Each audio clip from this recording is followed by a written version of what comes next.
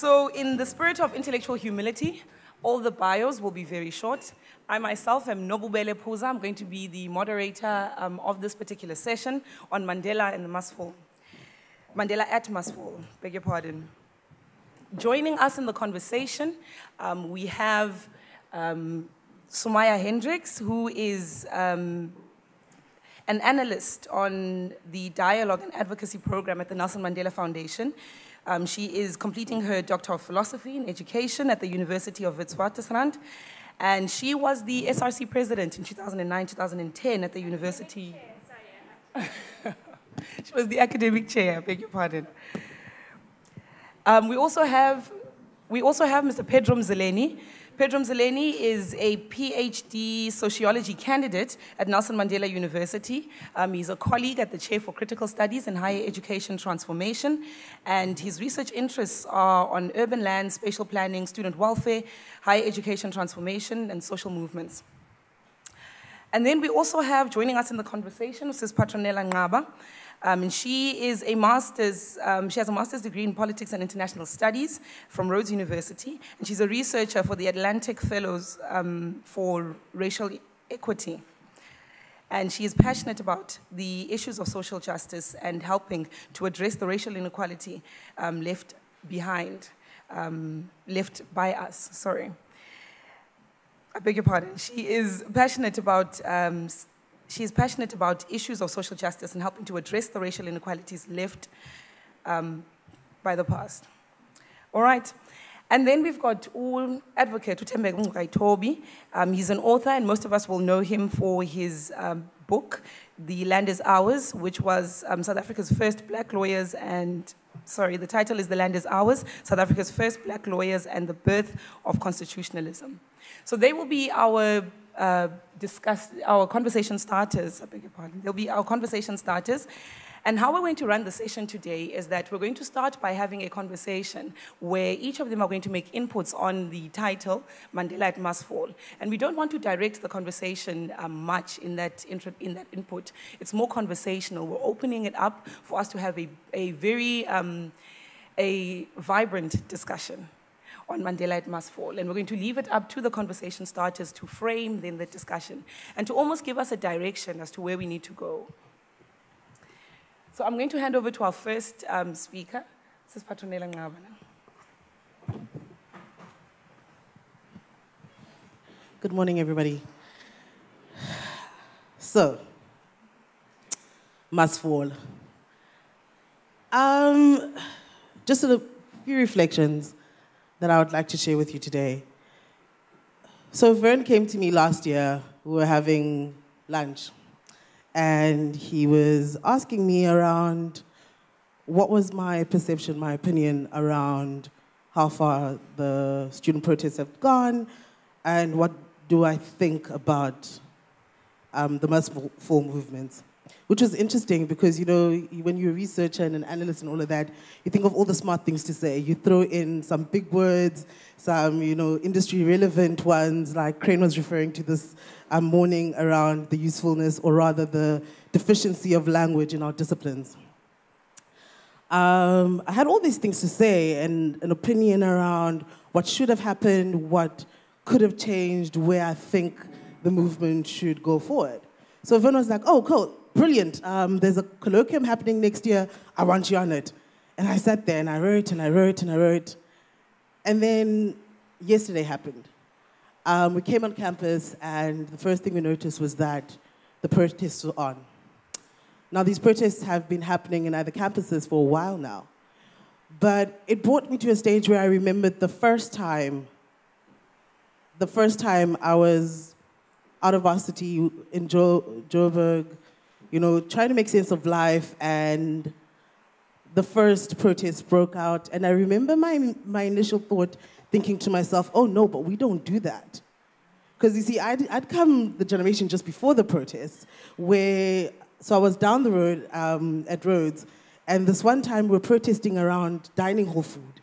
But the rules around protesting were that you protest during lunchtime, so it doesn't interrupt your, your classes. And then after you're done, you know, we pack up, we go back to class and, and pretend nothing has happened. Um, at that stage, our SRC was, um, rather quite apolitical, if I can use that term, because there were rules. There were rules as to what the space allowed. There were rules as to how you conduct yourself. There were rules to protest. There were rules as to how you negotiate, how you change the space. Now, why this becomes important, and you know, tying it back to the conversation today around Mandela as a figure of social justice, is his legacy has come under a whole lot of interrogation over the years um, around what he stood for, the choices he made when he was in power. Um, people have picked periods of his life. We have Mandela the lawyer, Mandela the radical. Um, and in each instance, people analyze what he stood for, the tactics he used, and how we begin to make sense of this figure that is now celebrated across the world. And how this is relevant to the moment I first heard around the Fees Must Fall movement and trying to, to make sense of whether or not is this allowed, is this legitimate protest, what are the rules, how do we even reimagine, was that at the same time, as much as I was like, I can't believe they're doing this, I was also just like, I was in awe of these students who were pushing the boundaries. I was in awe of the imagination, the fact that a group of students were like, we are going to take the system on. We are no longer going to stay silent we are going to be heard. We no longer will be ignored. And it brings me to the work that we are doing right now. So, I work for the Atlantic Fellows for Racial Equity, which is based both at the Nelson Mandela Foundation and at Columbia University. What this program attempts to do is um, convene you know, leaders across the world who are part of movement change makers who work in racial equity. And one of the things that we've been thinking through is how do we reimagine the world? How do we repurpose pain? How do we understand this moment? How do we move forward? How do we experiment forward? And also, how do we learn to stand on the shoulders, shoulders, of, um, shoulders of giants by looking to the past in order to chart a way forward? Now, all the things I've mentioned are quite difficult. They sound, they sound simple enough. They're all topics that um, people have written about. But the main one being also how do we engage with what leadership looks like? How do we engage with changing and shifting institutions that were designed to, to create a world that is mirrored with inequality and injustice? How do we even begin to deal with systems that are also designed to ensure that only a small percentage make it, but that percentage stands as an example of how you can do it if you work hard enough, forgetting the fact that the conditions of the possibilities of self determination are already taken away based on where you are born, based on the tools that you are given. Um, even the institutions that are meant to correct, and I'm talking about the university campus in itself, tends to be insufficient in, in preparing in preparing me to become a person, a leader in the world.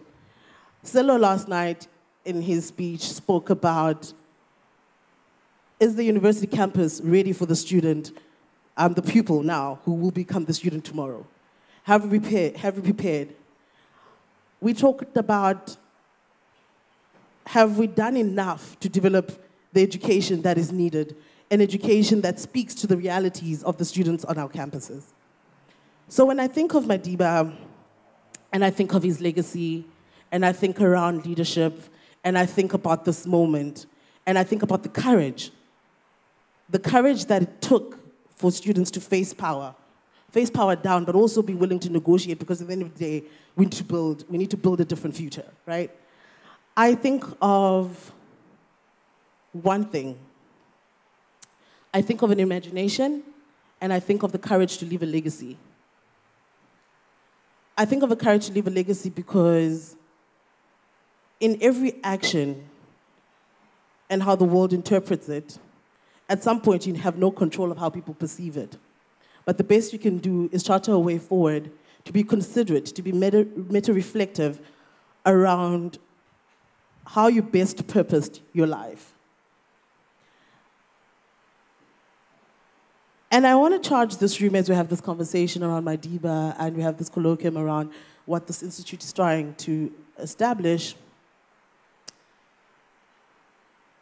is moving beyond just the technical aspect of imparting skills and knowledge, but to try and have a values based education system that returns to a place where it, beca- it, it, it charges us to become better leaders, better human beings. I think somewhere along the line, we've reached too far and we've left that. I come into the space not as Patronella, who, who, who gets into the system who've been afforded opportunities, who is molded, but I come into the space and I bring all of me. I come into the space and I carry with me the past of every teacher who has shaped me. I come into the space and I carry a legacy of my family, the stories that I've heard. I come into the space with an understanding of who I am based on, on my skin color, my understanding of culture, my understanding of what I think should happen. And I come into the space in search for an openness.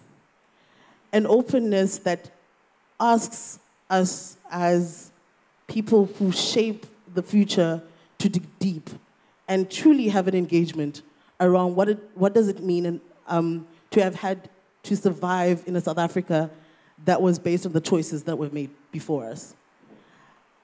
And I think I'll leave it there for now.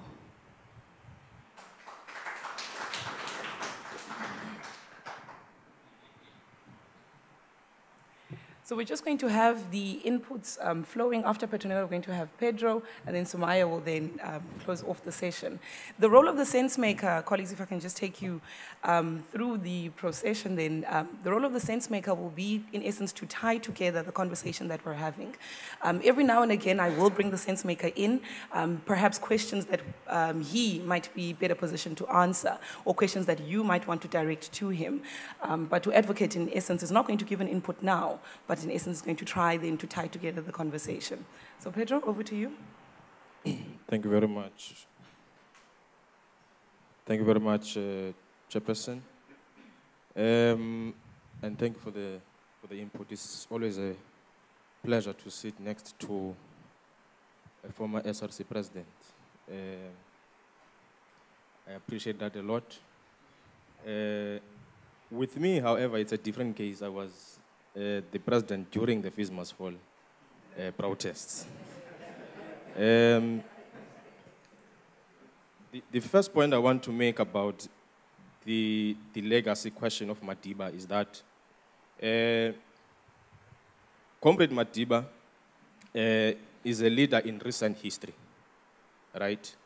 And uh, the interrogation about his legacy, it is something that I think is at its beginning as far as critical studies about uh, his leadership is concerned. And uh, that work is going to continue for many decades to come. Uh, and what is still going to happen, there's still going to be contestations around uh, who uh, he was and what he stood for and his leadership and his limitations and so on. But however, what we could do as a university is that it's good that the name is, is, is the university is named after him, and the commitment, the intellectual commitment that we could make is to make sure that whatever we do around interrogating his legacy, it takes us towards decolonial and progressive possibilities. Uh, that's what I, would, I can say about the legacy of uh, Madiba. Now, with that said, I want to come now to the question of uh, must fall uh, very quickly. First, number one, I think the universities in the South African context are still going to take some time, if not forever, for them to get out of the capitalist outlook or the capitalist fundamentalism that has trapped them in the neoliberal uh, democracy that we have uh, in, this, in, the, in, this particular republic. Um, you still have our universities, in, in terms of their financial structure, being turned around and making students' fees become the main uh, reservoir of financial revenue for the universities to sustain themselves. So the end user, which is the student, the fees are where the, the, the universities extract fees uh, and revenue for them to, to, to, to, to, to run. And hence, they, they, they run at an inflation targeting fashion uh, more like any other product that you'll find uh, in, the, in the economy. And that's where the debates about education being a, a public good or a private good sort of tend to uh, stem from uh, as far as that um, issue is, uh, is concerned. So, which now, which is at the center of the protest that is taking place even today at the, at, at the university. Uh, the, the, the problem is registration, right? Why students can't register is because of the financial model that the, our universities in South Africa have been shaped upon.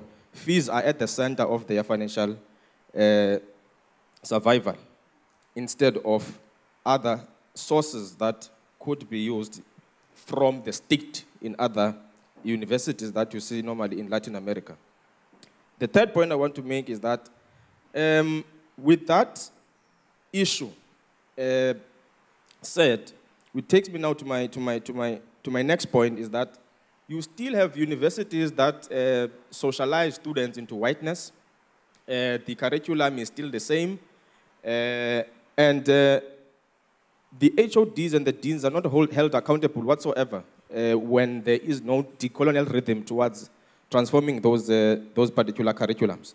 And what we have now is that, um, which is now the, my, my next critique to student leaders themselves, is that what we tend to do, because we waged that, that protest, we think now by stepping back, things are going to fall into place, as if these universities are not always conservative institutions.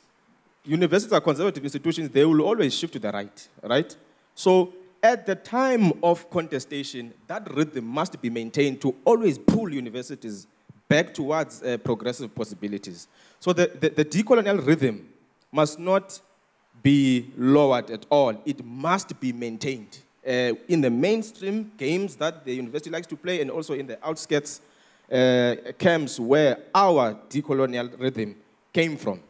So otherwise, if we don't do that, we are going to run at a risk where decolonization gets hijacked by university managers and also gets commodified by the market.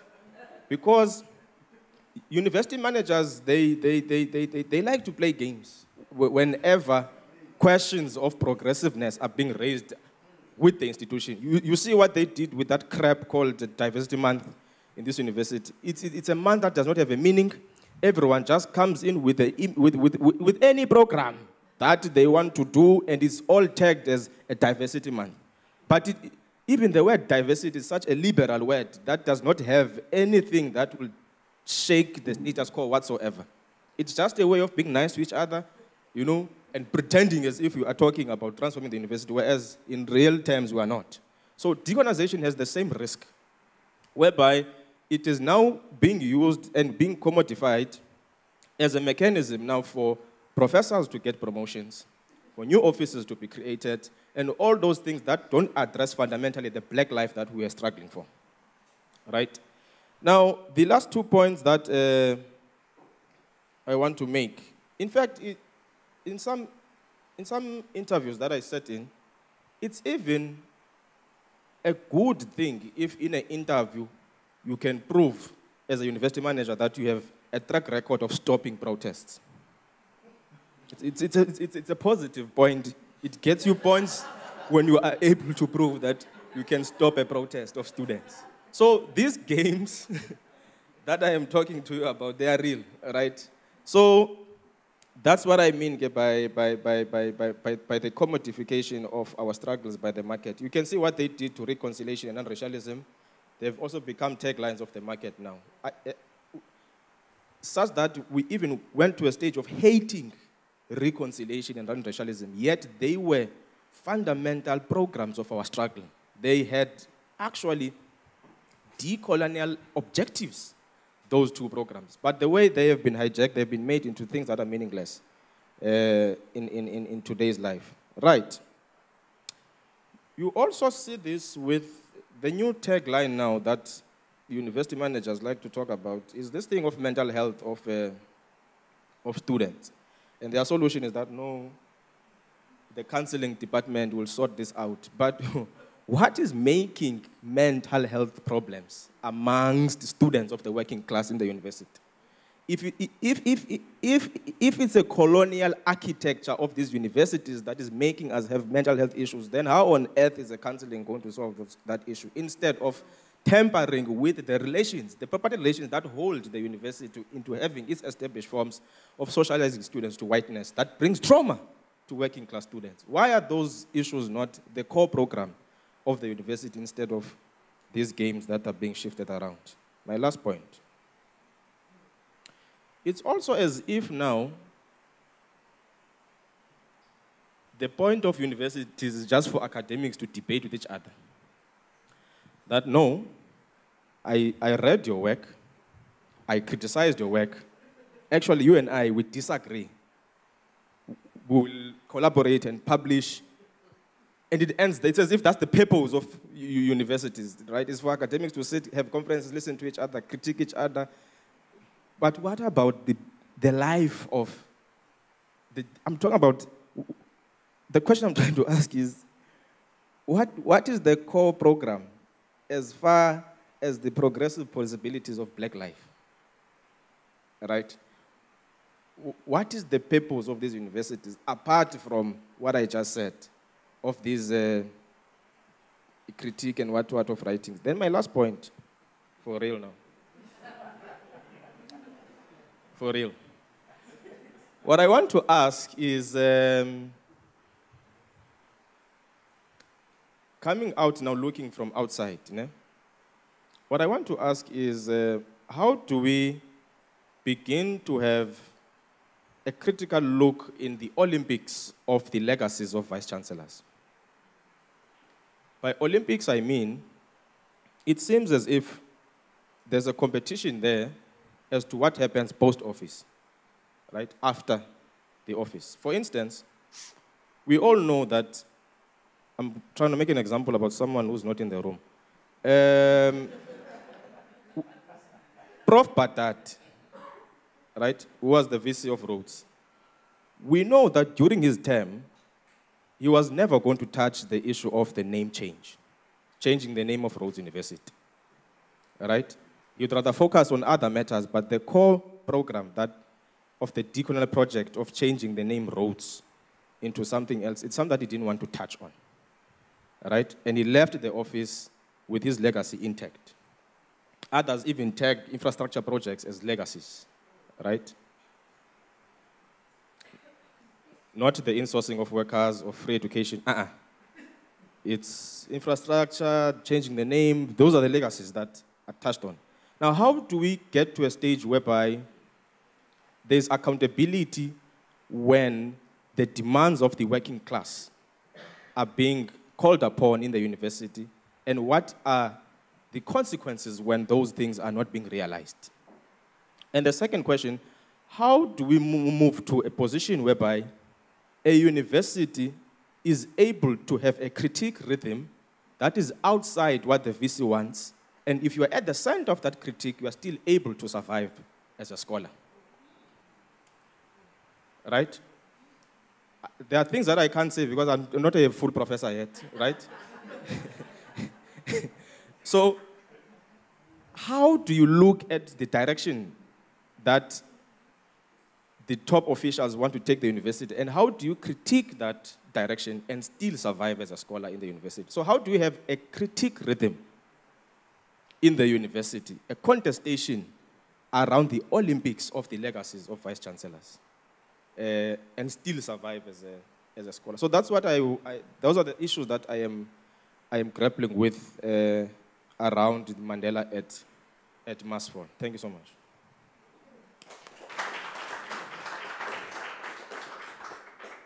Um, thank you so much. Um, so I'm going to start off with two disclaimers. Um, my first disclaimer is that if my contributions are very short, it's only because I want to hear more of Tembeka. and um, my uh, second disclaimer is that um, I uh, decided to wear this T-shirt today because I uh, discovered yesterday that um, I, this institution has a chairperson of the council that is a female, vice chancellor that is a woman, as well as well as, uh, so chancellor, vice chancellor, and chair of council. And I think that's a, an incredible achievement, and I really just wanted to, to celebrate that. So I really want to, from the outset, state my positionality in regards to this debate, which uh, to the discussion, which is really that I'm someone who lives in awe um, of the fees must fall movement. And I understand that, you know, when we speak about the movement, each university has different flavors of what that movement is and contours. And so when I speak about um, I'm really speaking about them uh, in, in its entirety. And the reason why I say that is because, um, so I served on the 2010 SRC at the University of Cape Town. And um, at the time, I mean, ANC Youth League and SASCO, they were speaking about free education and it was very much see, uh, seemed like a pipe dream. And I myself also um, saw it as a pipe dream. And so what our SRC did to really um, tackle fees, we got um, we hired these students, um, these master students who formed some sort of like company, and we got them to really um, study the university fee structure. And it got to a point where we managed to negotiate, get council um, to um, side with the SRC, and we got it reduced from around 12% to 8%. So it was the first time, at least from what we knew, where then SRC was able to negotiate down fees. And I mean, we were pretty chuffed with ourselves um, for that. Um, Professor Crain was on that council. Uh, I won't reveal which way his vote went. Uh, he, he, can, he can expose that for himself. But um, I mean, we were really, and, and the really, we were chuffed because, it, I mean, the climate at the time was that, I mean, what UCT students protesting it was so foreign to the culture. And so that was, I mean, obviously we told management that we could unleash the students to them, but they didn't know that we ourselves didn't think that not to be true. Um, but, um, but I mean, we knew we had to go another route because mass mobilization simply wasn't, at least in that context, um, something that we were able to do. Um, and so the, the turnaround in student agency and activism in such a short period of time is something that um, I, I, know that I wouldn't be capable of and something that I really, um, that I think is really incredible. So uh, there's really three points that I want to make. Um, the first one is around, um, you know, Madiba's assumptions that he made about himself and his role, and the assumption that he made to other people. So in a speech, you know, he gives he gave in '97, where he's really much really handing over the leadership to Thabo Mbeki. You know what resonates throughout that whole speech is he's saying, "I'm handing over the baton. I'm handing over this baton in a relay, and I'm merely essentially he's saying, you know, he's a runner in this relay, and he's gotten the baton from you know generations before him." He's gotten this um, um, relay not only from previous um, ANC leadership, but far, you know, he's talking, and then he mentions um, other people within um, um, um his particular um, uh, lineage, that he really got this baton. And he said now it's time for the next generation to continue with this and to play their role in carrying on with, um, with, the, uh, with the role that needs to be played. And he said that his hope is that, you know, these, these leaders that come, uh, that they, you know, are true revolutionaries that only serve the people and serve the interests of people. And so, you know, he didn't see himself as someone that ran the whole race. He merely saw himself, um, you know, in the context of um, one, hum, what he says, you know, he, making a humble contribution and running merely a small part of the race. And it's my contention that it's students who weren't given the baton, but they really, they found the baton lying on the floor because at the time it was really discarded, and they picked it up. And they are the ones that have really, you know, taken forward this race. And it's something I think that should be um, that we should all be very proud of. The second point I want to make is that um, there is a tendency um, to dislodge Madiba from, the hist- from being part of the tradition of radical activists. Um, even though one can't discredit his uh, revolutionary credentials. And you see it, whether it's you know, the iconic and Rivonia trial that he's prepared to, to give his life, or, you know, he, he joins the ANC, he doesn't join the ANC, he joins the ANC Youth League first in 44. Um, and the Youth League is very much, you know, critical of the ANC. It's saying that um, you know, this organization has been characterized by comprising of professionals and elites, and there's a conservatism in this in the ANC, and so you know the ANC Youth League is formed, and I think that's very significant. And so all of these things, and you know, let alone MK, so all these things point to his revolutionary credentials. So why is it that we, we underestimate and undervalue his um, forming part of this um, radical tradition? And it's really because you know, what, what people, and I suppose maybe it's, um, you know, just some introspection here that, you know, maybe it's um, symptomatic of the human condition where we are very forgetful. And, uh, you know, so what we saw before us was, you know, a cuddly old man that dances at concerts, you know, to be honest. And, um, and, and, and so, and, and it hasn't helped that people have reinforced this time and time again. So what people in society praise is this cuddly old man, this, this, this this presidential and post-presidential. So it's not surprising that students reject Madiba because that has come to, uh, to embody and characterize who Madiba is. Um, and so we really need to think about, um, you know, how, how do people talk about Madiba? Who are they talking about? What aspects do they praise? I mean, I also grew up in a household where my first, I mean, Madiba really entered my consciousness in the Rugby World Cup. I have this clear image of, I remember sitting on the table and seeing Madiba and my, um, you know, at the, at the World Cup and, and, and, and very much someone that was lavish, my parents like lavished praise on him. So, you know, in the, in the, in a time where young people are, you know, questioning the old order, which is also part of the DNA of what young people do. Everyone at some point, you know, in this room did that. Um, you know, so of course, in that, in that questioning um, of the older generation, not only do you question the, the credentials of that, um, that generation, but you, you question who those people hold up to be role models. Um, because this, this, this cuddly old Madiba is being held up as, as the, um, uh, what people should aspire to. And, and then just a last point, I do have some recommendations around how the program should be structured but we can talk about that in the discussion section. But the last point I want to make here is that I think there's been, um, you know, we aren't really self, we, we, we overcritical of Madiba. Um, and I think it speaks to the, the lack of self-reflexivity that's embedded into our education system, that we're really not, you know, teaching people to be self-reflexive about themselves. And I think it, it's demonstrated the fact that we can so easily, you know, slip off criticisms, criticism to other people and Madiba, I think it speaks to something there. And so it's not surprising that, you know, it's easier maybe for young people and people to, to more easily criticize um, them because, you know, if Madiba had to pass away in prison, I mean, quite honestly, I think that would have been enough. Like, I mean, his life would have been well served, but he still came out presidency, post-presidency, the foundations he set up, the work that he did, 46664. And, and, and I think that failure to see that really speaks, it's some sort of projection that we really, you know, we, be saying something about, about ourselves in, in, in that kind of harsh criticism. So, thank you.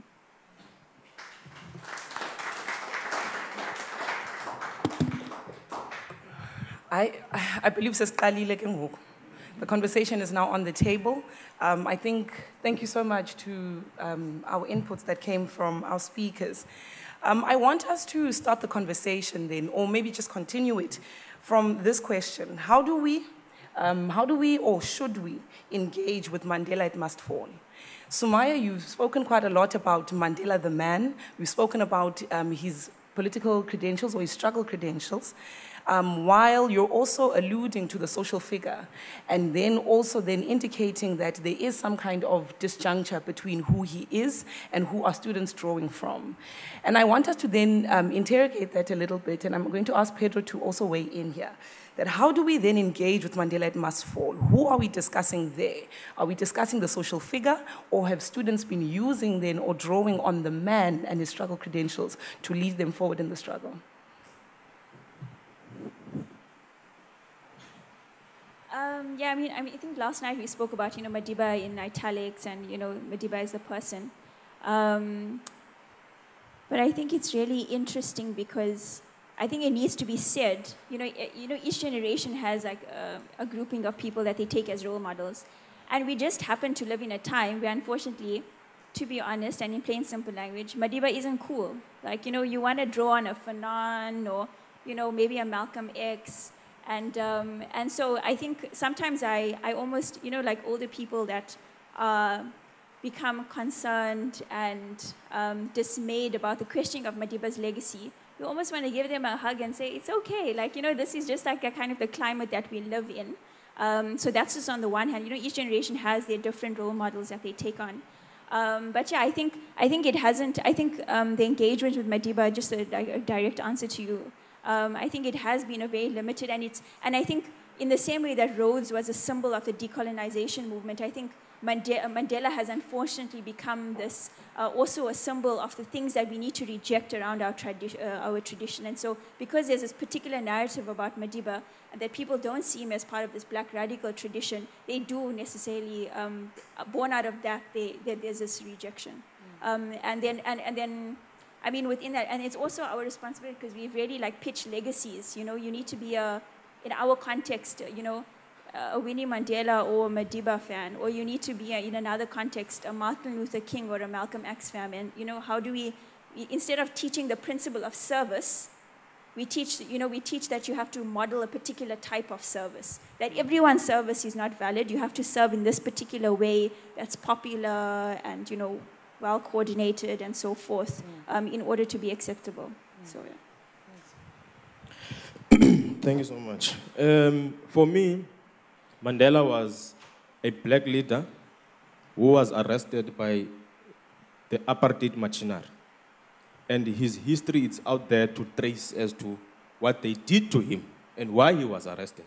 So I don't have time to entertain nonsense that Mandela was a sellout or we don't like him or whatever. That is not what I'm going to do. He's my leader, and I have a good track record of what he did for me to be here today. Secondly, there are people that we cannot even trace in the struggle, right? And they are, and they are, and we don't hold them accountable or ask them that nonsense. And they are the ones who are at the center of holding us into ransom in these institutions.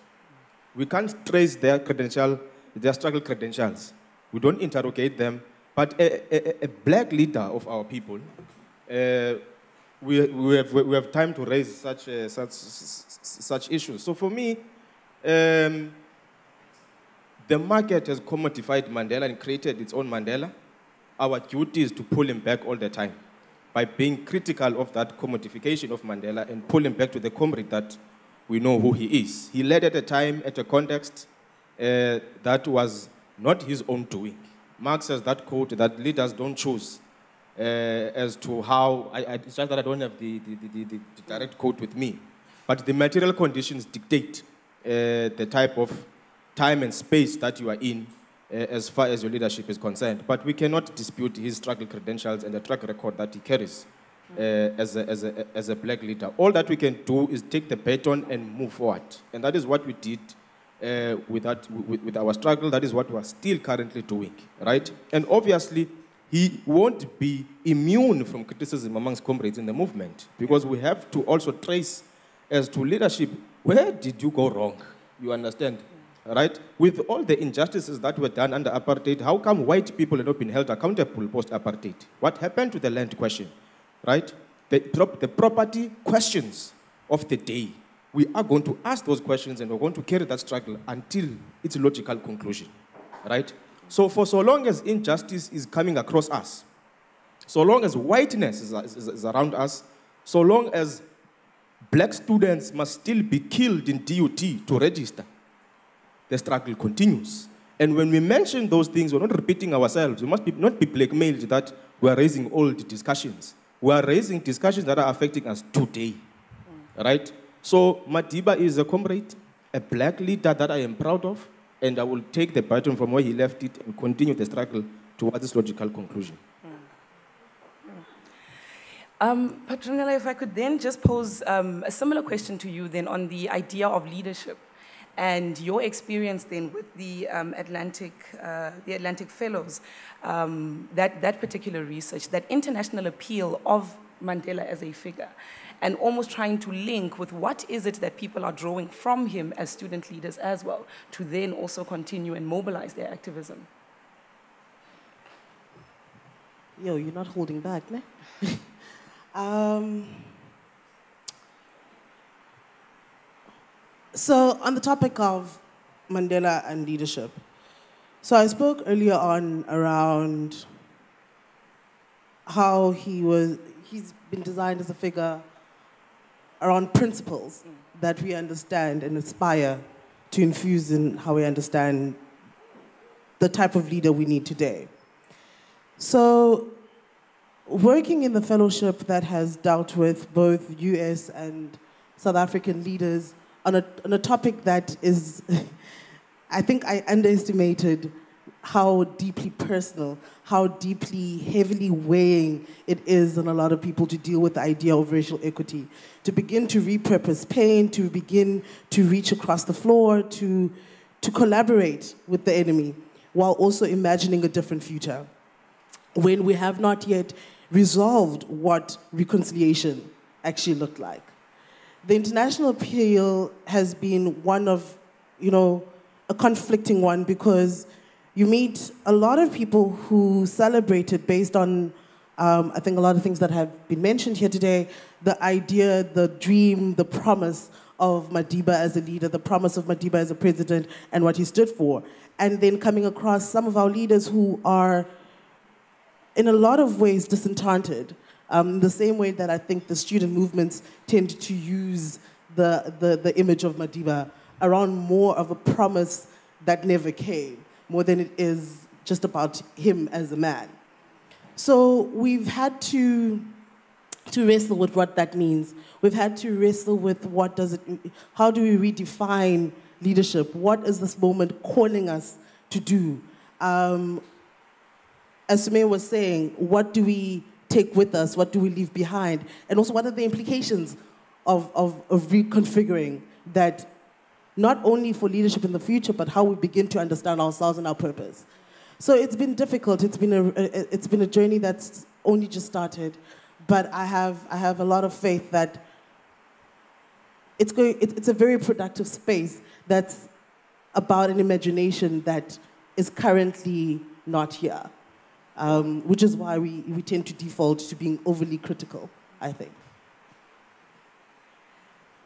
Um, colleagues, maybe just to um, change the direction of the conversation as well, but build on these inputs that have been given, is this idea then of reimagining what Mandela really has to mean in society, but also thinking around what you've mentioned already in your input about trying to reimagine as well how to um, to reimagine the world itself.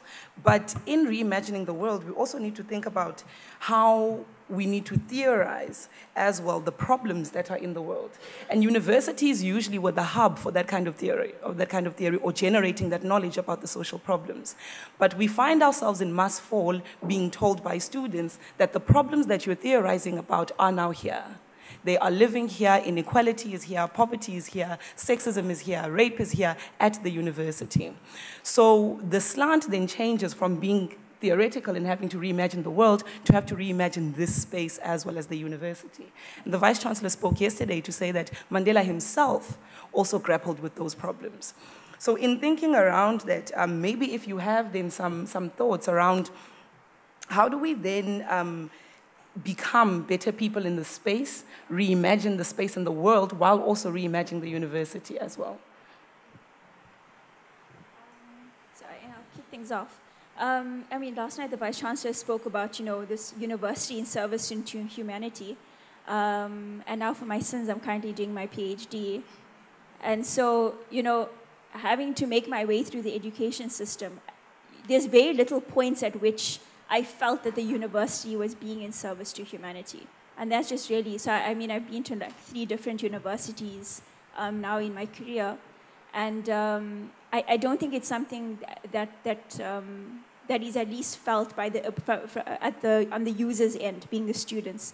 And you see this very easily, like when you engage with academics and you tell them you're wanting to, just say the word meaningful research, that you're wanting to do meaningful research, and there's immediate apprehension, no, like the intellectual endeavor and the mind and, you know, the pursuit, whatever, whatever.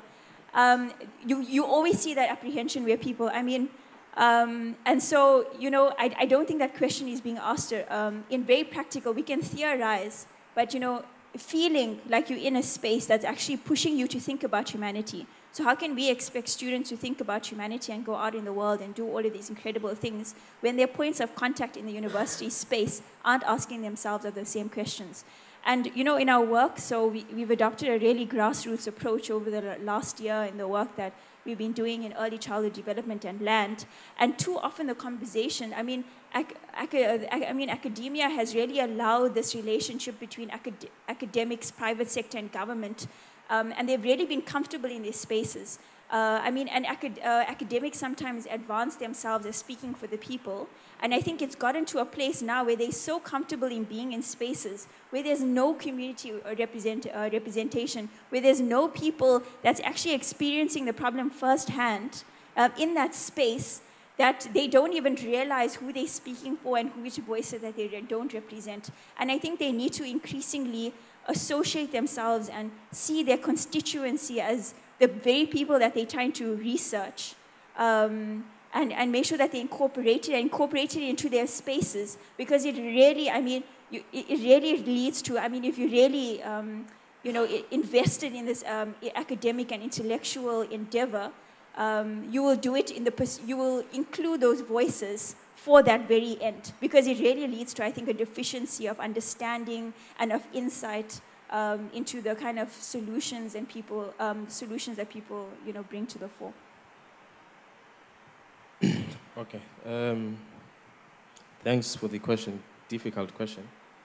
Um, my just three points from me. The the first one is that um, around the the future and going ahead with uh, the Mandela's name uh, uh, as a, as a university. Um, I think the, the direction there should be critical studies on, the, on Madiba, of course, must continue. And then as a, as a scholarship project in the university, there must be a commitment towards decolonial and progressive possibilities. That is all I want to say around uh, the institution that carries that, um, that, that, that name. So critique must be the rhythm of the university. Uh, that should be the alpha and omega of our scholarship project. There must be no holy cows. There's no one who's going to come in and table something that won't be critiqued. All right? And we must hit hard against university managers who want to hijack and commodify and play games with decolonization and the transformation project that we carry. And there must be accountable measures when those games are being played by such people because they are delaying um, our, our, our, our entire program that we are doing uh, in making sure that we pull these universities towards the service uh, of our people. For instance, now there's a gender based violence question being put on the table. And the entire higher education sector is struggling, right, to answer that particular question. It's the usual tactics, the usual answers to a new challenge that has been brought to the table of higher education, and it is unable to respond to that, uh, to that challenge that has been brought uh, into, into, into, into, into what I'm, which, which brings me to, to, to, to the conservativeness of these universities and how the student movement must never get tired of pulling this, uh, this, this, this, this monster called these institutions back to the left, back to the service of, uh, of, uh, of, of, of, our people.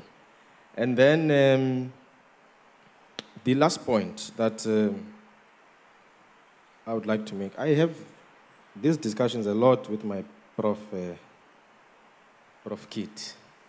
Uh, the, the, the, last point I want to make, it's on um, this, this, this, this question of, of free education, right? And uh, how we how we're going to move ahead. I saw the, the, the week report published by the World Bank last month where they say NSFAS will have inequality in 2030 in South Africa. Nonsense. So, how do you get to have a higher education system, right, whereby the student, right, as man, not amadoda, man as a human beings, man, man. How do you get a higher education system that does not target a student and student fees as its main source uh, of generating its operational revenue? How do you achieve that within a capitalist framework? Right? Because I can tell you, with that system, you are going to continue recycling inequality. Right? As far as the economic question is concerned. What is another role that a different and a, and a, different, a differently imagined state can play to temper with those property relations as far as the economics of higher education are concerned? And the last point is on the cultural justice question that was being raised by the MustFall movements, right? Because Professor Susan Booysen focuses on the economics of MustFall, forgetting the cultural question that was being raised, right?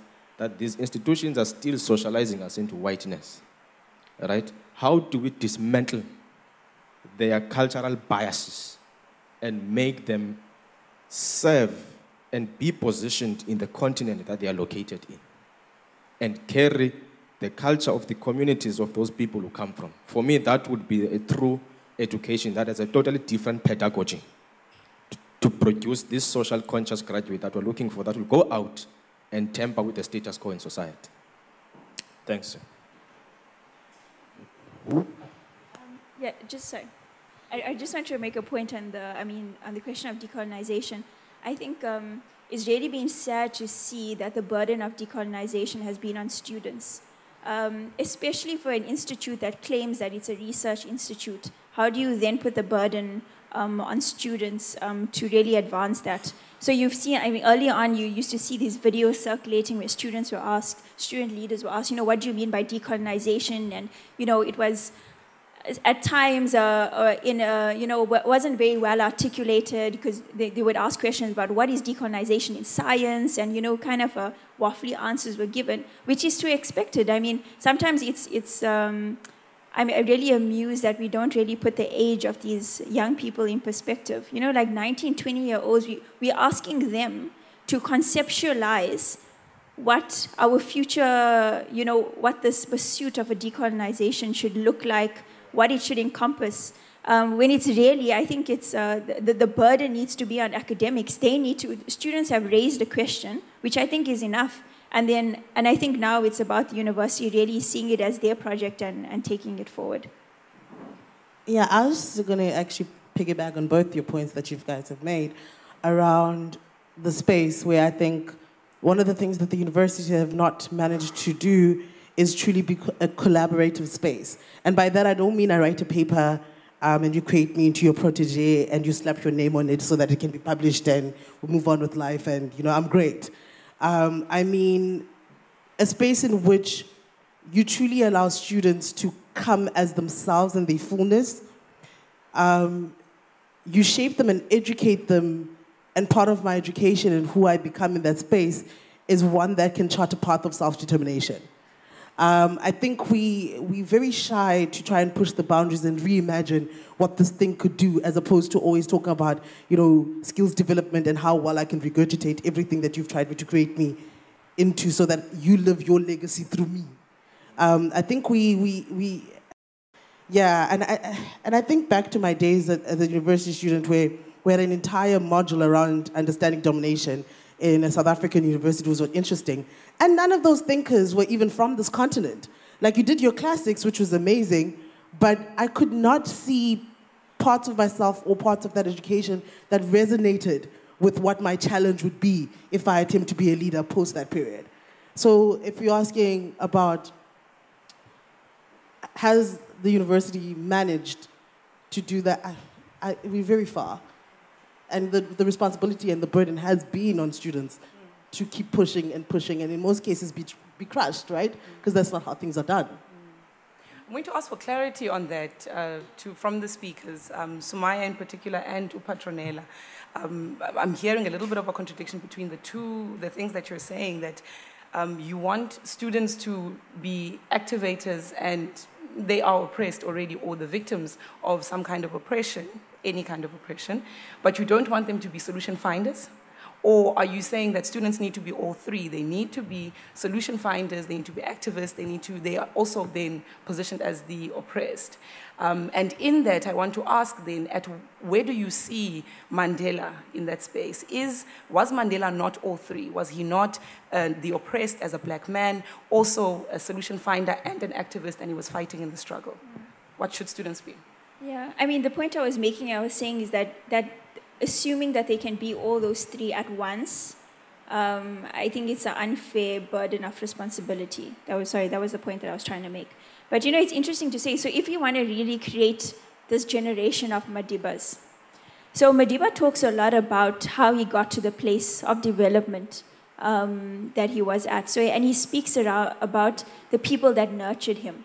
You know, he says that all these giants, um, they helped to, you know, um, it made him who he was, that they were able to give him tasks that really played to his strengths and that they build his knowledge. He speaks about going to their meetings and, and not having, he wouldn't speak at the initial meetings he would go to because he just lacked confidence. He didn't have enough knowledge. So, on the one hand, we need to grow the, the, the knowledge of young people. Um, and Madiba, you know, when he started reading, he, he grew in confidence and that he was able to articulate himself. But the fact that he's also pointing to the fact that there are these people who have helped mentored him through um, you know, developing his strengths. He speaks about how their weaknesses, um, you know, covered up his, his so his, their strengths covered up his weaknesses. And so if you want to create that generation, you need to think about clearly knowledge is not enough. There's a personal development component, and it doesn't matter. You know, I've, i used to run a graduate pro, a development program, and we had Fallists. And you know, I had a Fallist on the program you know, speaking to, she, she, at any point in time, she could give up and, you know, give a well-articulated speech to thousands of students.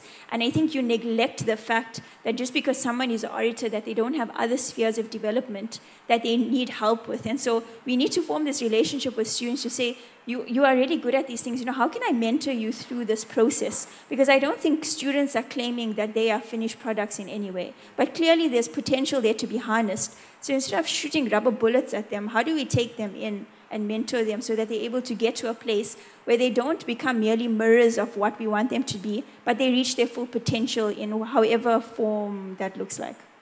So, yeah, I was saying, I, I don't find the things we are saying contradictory because I think with to clarify, it's not an either or. I think she was looking for a fight, but yeah, no, no, it's not an either or. It's a, it's, it has to be a, a, a, process. I mean, I think the term is a dialectic where everybody does their part.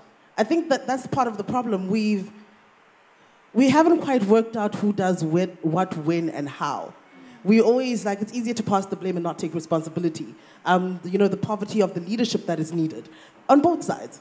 And I, and I think we're not at a point where we've actually had that authentic conversation because everybody's trying to be right. It's all about grandstanding. It's all about, you know, winning. But sometimes it's, it's, it's, just about a relationship. And like I said, a collaboration. And a true collaboration, not one where you set the perimeters upon which my, my, my, my growth and development takes place without you harnessing what it is that I bring to the table in my authentic, genuine self. So, yeah. Thank you so much for answering that. And maybe I was looking for a fight, Sumaya. All right.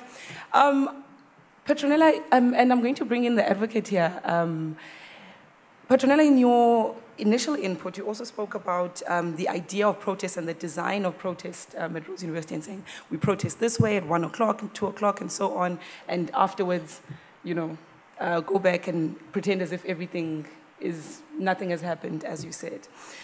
But now I want us to maybe just interrogate the idea then of protests and uh, the bringing in of the interdict at universities, where students who want to protest then need to traverse that space between legal and illegal, trying to then still bring out their point that they do want to make to the university. And those type of manifestations of protest within the idea of having an interdict. And um, yeah, so if you could just speak a little bit on that the idea of students then protesting and how the form of protest should be when they're trying to manage then the idea of legal versus illegal. Yeah, sorry, I'm not sure if I'm, I'm getting your question, but I mean, just in terms of the form of protest, I mean, students are learning from what society teaches them, you know, that, that reported on the smoke that calls.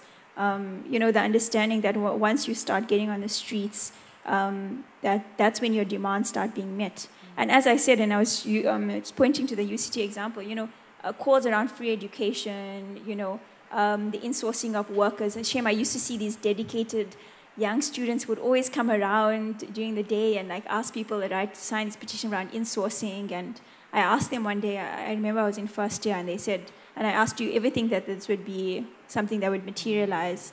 And they said no, but it's important to like you know raise active um, a consciousness around it. And so there was almost this, also the seriousness um, and so things really just turned when things, and let's be honest also, not because other um, uh, spirit technikons and other universities um, that were historically black would always, there was a culture of protesting, but once, the, once it started turning that these historical white universities also um, would adopt protest um, and physical protest as a form of, um, you know, petitioning their demands, then was it taken seriously? So I mean, and that's something that they really very much learn from society. So on the one hand, while the university is claiming to be a place where there's like, you know, this rigorous academic debate, and at the end, the one who has the best argument prevails. Um, it's actually the students have learned that's actually not the case. It's the strongest one that would, will um, that you know no, no, matter how advanced their discussion and how well they're able to articulate that at the end of the day is not going to be the be the form of protest um, that really um, wins at the end of the day so yeah. Uh, should I comment? um, look, I mean, so, so if we start with, uh, you know, this conversation, the sort of micro conversation around what's legal and what's not legal, and the role of students in protesting. So we can start with history, and especially because we're talking about Mandela's life, and look at Mandela himself. You know, how, uh, how did Mandela actually confront uh, the dilemmas of legality versus illegality? I mean, it's quite clear that Mandela was an outlaw, true and true. You know, uh, so, but he justified his sort of outlaw uh, outlook to life in 1962 when he gives the not the Rivonia speech, which everybody likes to quote, you know, if it needs be, I'm prepared to. No. The, the 1962, when he turns the table against the apartheid government, because he's now standing a trial, but he says, I don't recognize you as your, as, as your lordship sitting there because you are illegitimate. You have no right to try me. I'm a black man in a white man's court. You know. And then the judge says, Well, I am the only judge. He says, Yes, but you are a representative of the white system. You know. And then we also see Mandela in that period 56, 57, 58, 59. The PAC is trying to establish itself. He is one of the people organized by Oliver Tambo to break up the meeting. Right? We also see him much earlier in the meetings organized by the Communist Party, leading the breaking up of those meetings. You know? So Mandela is the original fallist. Right? So, so so, so he did not struggle with making moral distinctions about what was legal and, and, and, illegal. He was quite clear in his mind. In fact, one of the greatest attributes of Mandela is his clarity of thought. He didn't equivocate. Unlike many intellectuals of the era, of the era Mandela didn't equivocate on these questions. We may debate now about whether he was right or not, but getting his record straight, I mean, is absolutely vital. So if Mandela was here, he would not have come to this meeting. I mean, he would have probably been outside organizing and mobilizing. If he had come here, he would have broken the meeting up. Said, You're wasting time intellectualizing too much because Soweto is burning. You know, I want to go and burn my pass. I mean, you remember him. He was going to be the volunteer in chief. He took his own pass, he bent it. That was breaking the law. You know, you remember he decided to skip the country. You know, he said, I am going to be the commander, you know, of MK, the very first commander. Skip the country, left. When he came back, he said, I'm not interested in standing trial and getting arrested.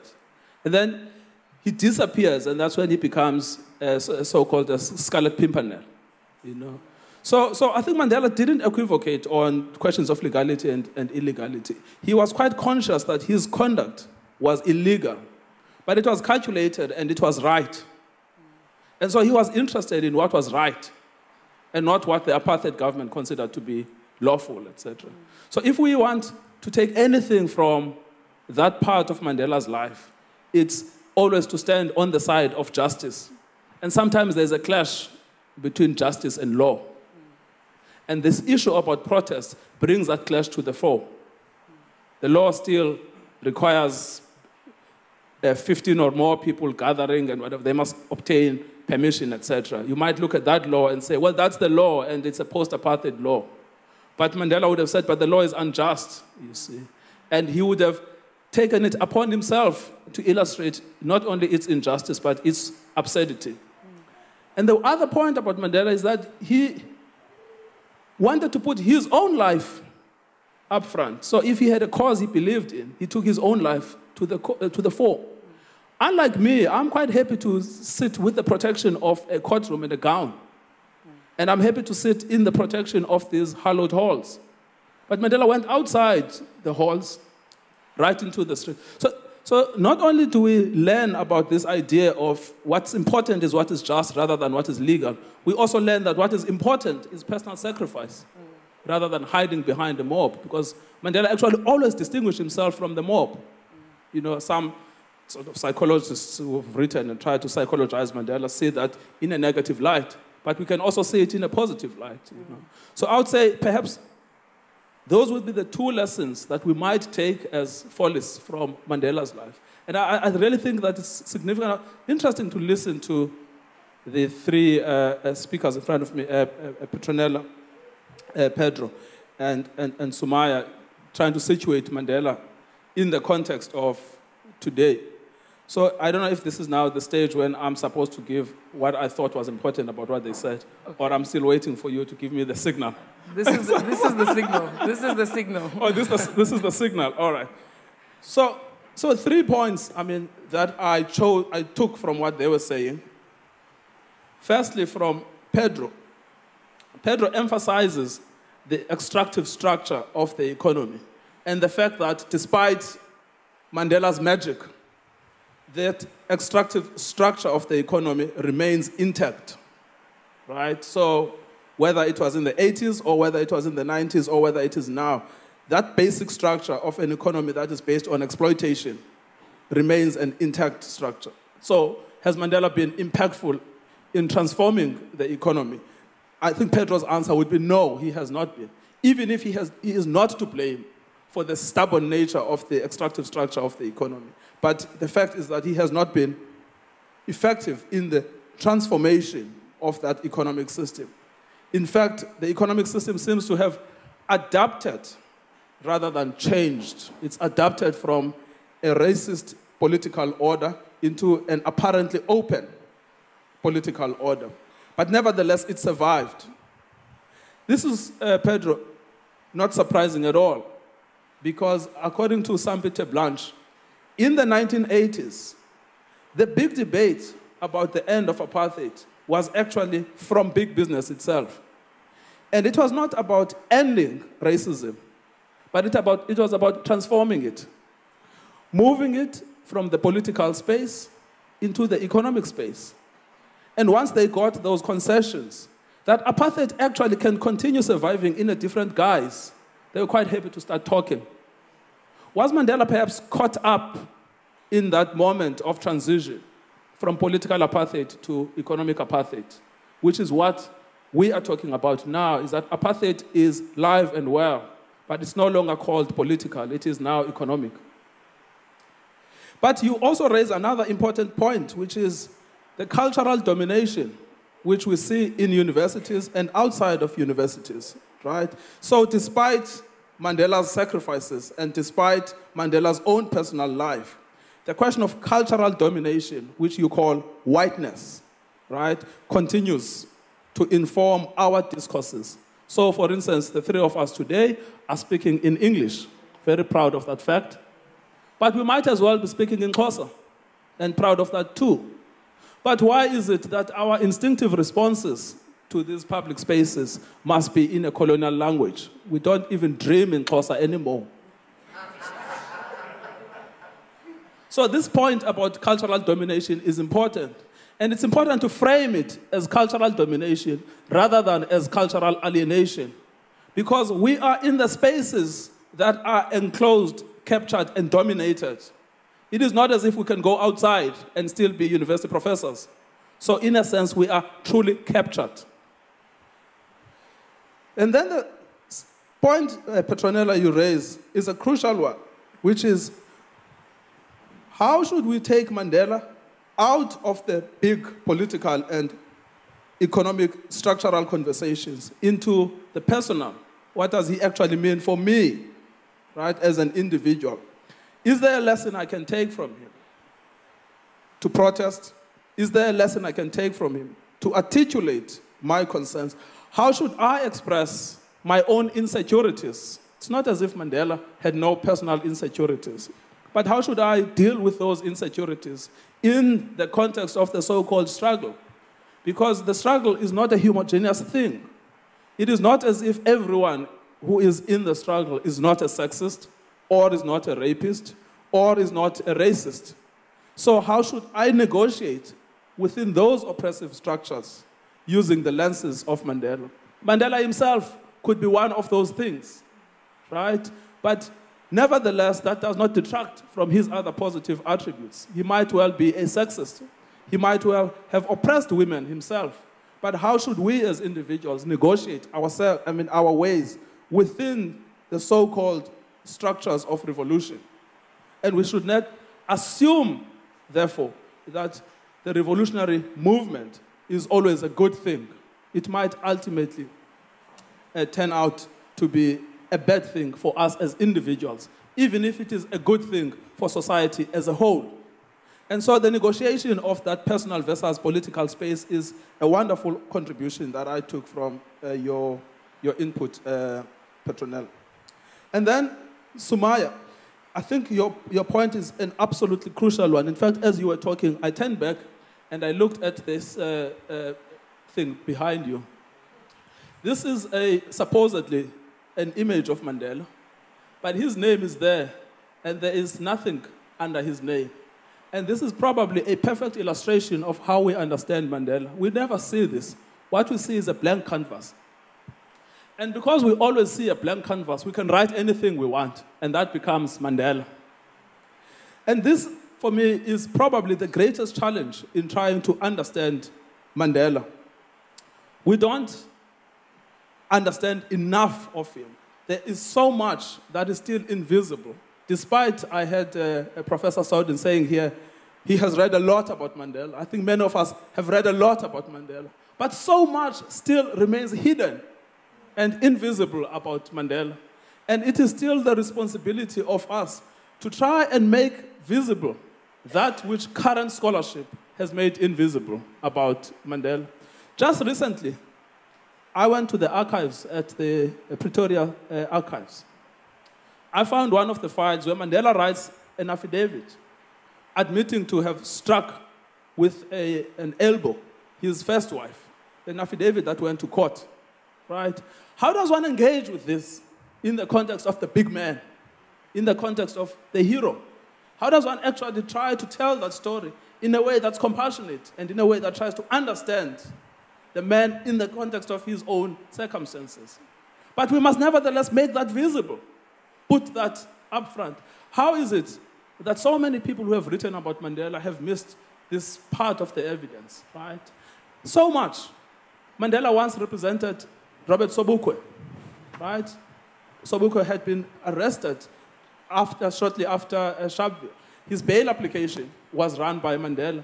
How is it that Mandela has also been divorced completely from the Pan African traditions? Right? As if Mandela was an enemy of the PAC. How is it that we actually do not know about the personal correspondence between Sobukwe and Mandela?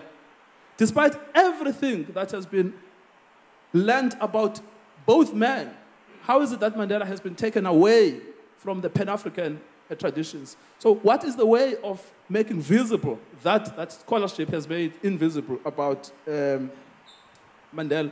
But another problem, of course, is your question. Why is it Mandela? Why is Mandela divorced from history? Right? Why do we understand, you say, Mandela, the sort of uh, uh, grand, grandfather that's dancing and kissing children, etc. And that's not a bad thing. You know, grandparents should dance and kiss children. But why is it that the, the only understanding of Mandela is precisely Mandela, the teddy bear, right? And yet, Mandela is the ultimate revolutionary, right? The truth about Mandela, he's, he's the ultimate revolutionary. Probably much more than Nehru, much more than Gandhi. But our understandings of Mandela is Mandela the teddy bear. Has he been captured by historians? Has he been hijacked by history? Or, as you point, point out, uh, Pedro, has he also been commodified? Right? So, these are questions we should be asking about Mandela and our understanding of Mandela. I, I wonder, though, Sumaya, whether talking about history as if we are talking about the same thing, you know, whether we should not probably start by problematizing the question of history. What is history? How do we understand the past? Because we might perhaps, by asking the broader question about understanding the past, then try to reassess our understanding of Mandela, what he stood for, what he meant. So, I go to the archives looking for the story of conquest. Perhaps that is my point of departure. But I look at the same documents which tell me a story of resistance. Historians write about Mandela as an outlaw, right? as someone who was resisting apartheid, as an accused person.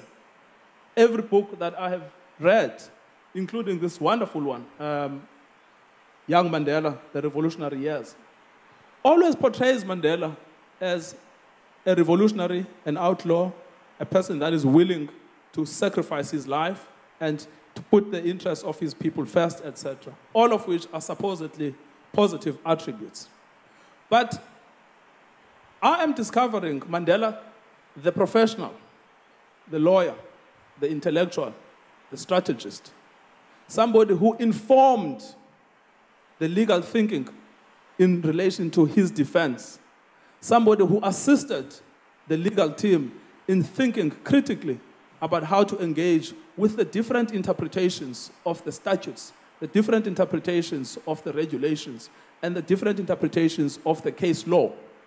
So, why are we not told about Mandela the scholar, Mandela the intellectual, Mandela the lawyer?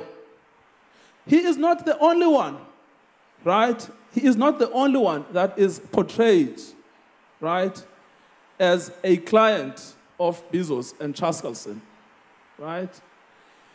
Many of them are consigned into the status of subservience by history and by us.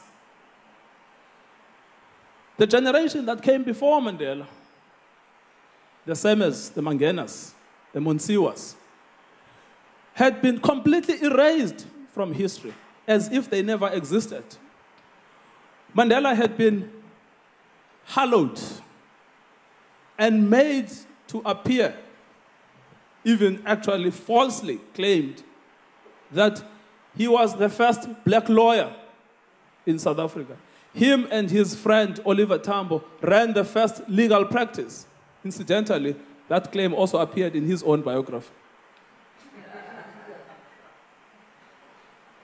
there is nothing wrong with that, right? But our function is to also try and find the stories, right, of black intellectual traditions that history has pushed further and further away from our imagination. So perhaps to come back to your important question, Sumaya, we should also be reimagining not only the future, but the past as well. Right? And that means we should take the archive seriously. But it also means when we engage with the archives, we may be reading the same words, but we may be interpreting the different meanings of those same words. So we should not assume, lazily assume, the correctness or the accuracies of the interpretations.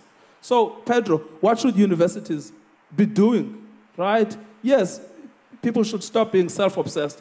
They should be funding students that are reconstructing the archive.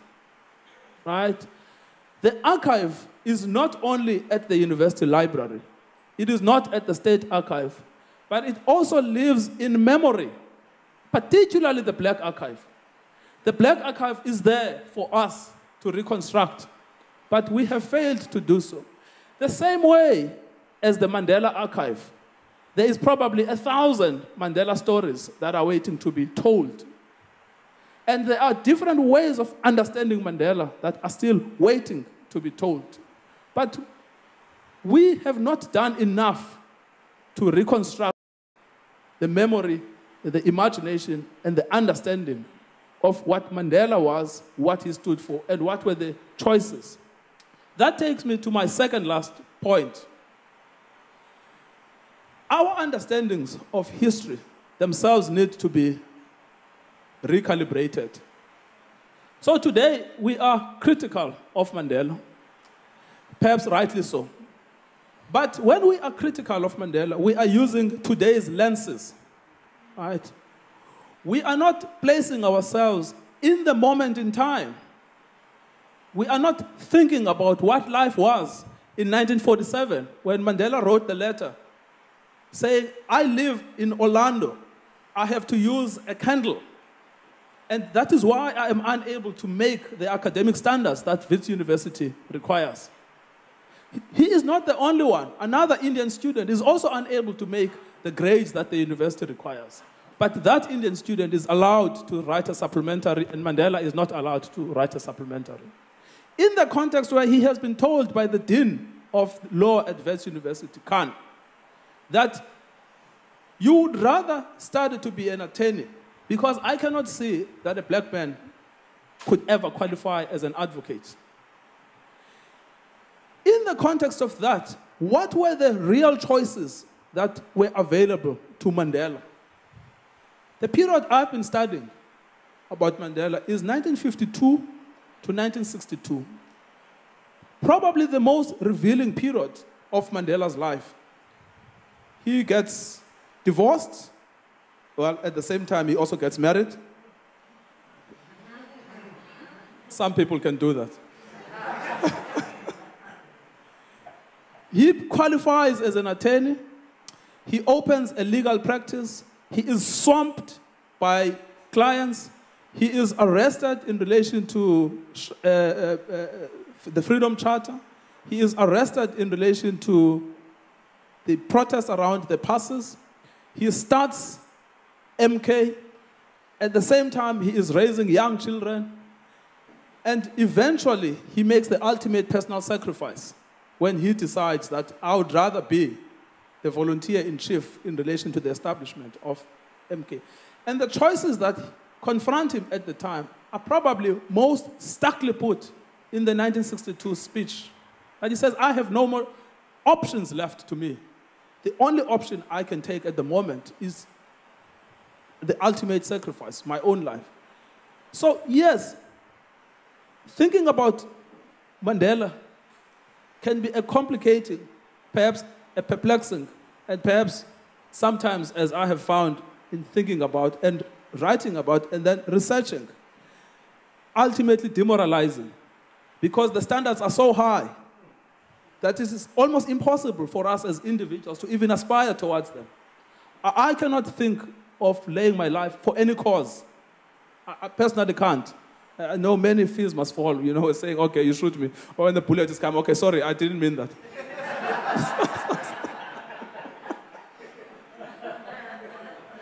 Just saying. The final point. So, my final point is rather than thinking about interpretation about Mandela's life, we should probably be trying to understand it. We should probably be trying to reconstruct it, understand it. In doing so, we should probably be doing it with a little bit of compassion and with a little bit of placing ourselves in the scene of the moment as the events were unfolding. One of the best books that does that, which is both critical, reflective, but also very compassionate, is this book by uh, David Smith. I, I don't know if when my project of rewriting the period of 1952 to 1962 would be successful in trying to be truthful about Mandela's life, at the same time, trying to be realistic about the options that were facing him, but also doing it in a way that is compassionate. I don't know if that will be possible at all. The post constitutional state is a perplexing state. It is a very complicated state. South Africa's economy is a first world economy, but at the same time, it is a third world economy. But I think that we do Mandela a disservice by focusing too much on his legacy as president. It is possible that Mandela was just a normal president, an ordinary president, probably a dismal president. But that should never blind us from Mandela, the revolutionary. In my own estimation, I think he's probably the greatest revolutionary of the 21st century. Right? Both actually the 20th and the 21st century. It is impossible to think of a revolutionary as strong, as motivated, as courageous as Nelson Mandela was in that period, in the context of the challenges that he faced, and in the context of the choices that he personally made. But I think it's true at the same time that you could segment your life into two. Into two. What was Mandela like as a revolutionary, but what was Mandela like as a president? Probably an ordinary man as a president. He tried what he could. Even on the land issue, there was a point when I was critical about Mandela on the land question. But I have gone back to the choices that had to be made during the transition. And I'd gone back specifically to the route that Mandela had to follow in relation to the choices on land. And I now think, actually, upon reflection, the choices that they made, which was let us keep the land issue intact for now, but let us allow the state, the authority, to radically revise. And let us allow the judiciary to supervise that radical revision of the land question by the state. I think that choice was probably the most realistic choice at the time. It is also crucial to see that choice in the context of the larger Southern African region. In 1979, Zimbabwe had just been through a war, and they had a meeting in England at Lancaster. When they negotiated around the property clause, interestingly, they came to the exact same conclusion that South Africa did that you will not be able to disrupt property relations at one go. And the choice was we will keep the property relations exactly as they were, but we will allow the state, the authority, to disrupt those property relations. Interestingly, 10 years after Lancaster, in 1989, Namibia also had its own constitutional reform negotiations. The conclusion they came to is that all of the property taken under apartheid and colonialism will be allowed to be kept by white people, but the state would have authority to take it afterwards. South Africa came as number three in this family of free countries. They did exactly what Zimbabwe did, and they did exactly what Namibia did. And the other interesting bit about the land issue is that Zimbabwe, after 20 years, completely collapsed on the land question because of bureaucracy, corruption, market fundamentalism, and political expedience. It was the MDC in 2000 that proposed an alternative clause to the property clause in the Zimbabwean constitution. ZANU PF was still stuck with the Lancaster clause.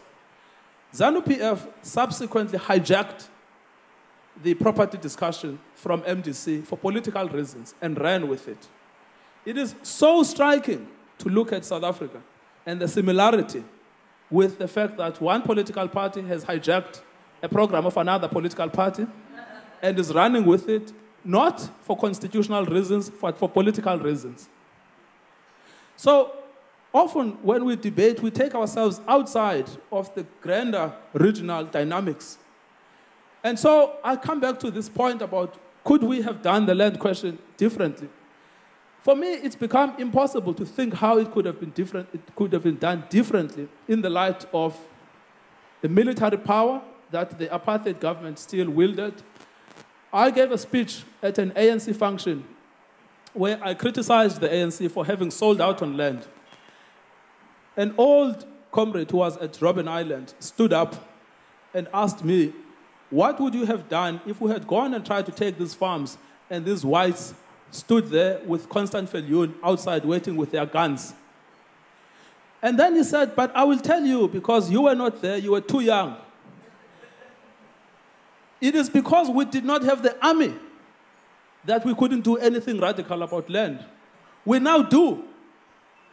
And we can move a little forward in relation to the question of land. So do not come with your radical theories which have no basis in practical reality. So I shut up for the first time.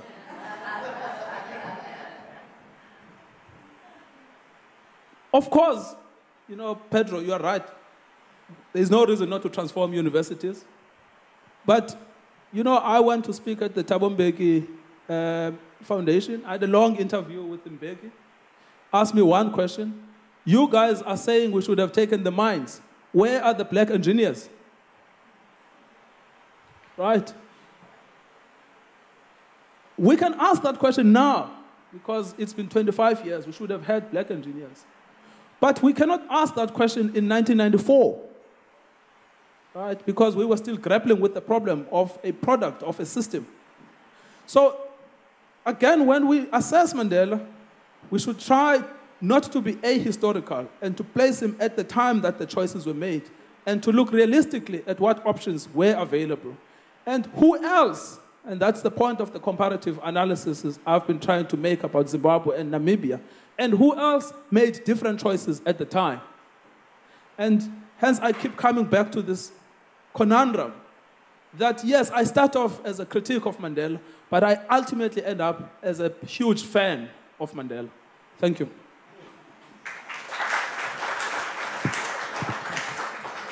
Thank you for that, um, Advocate. I think now I just want to test, uh, colleagues, the appetite for engagement, um, just with a show of hands, just to indicate who would then want to give input, questions, comments, um, or pose anything to the panels.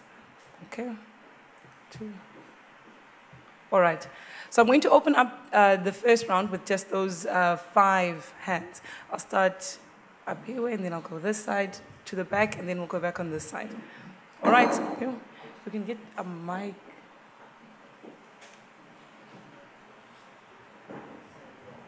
And colleagues, if you are posing a question to one of the speakers, if you could just um, indicate who it is. Mandiba.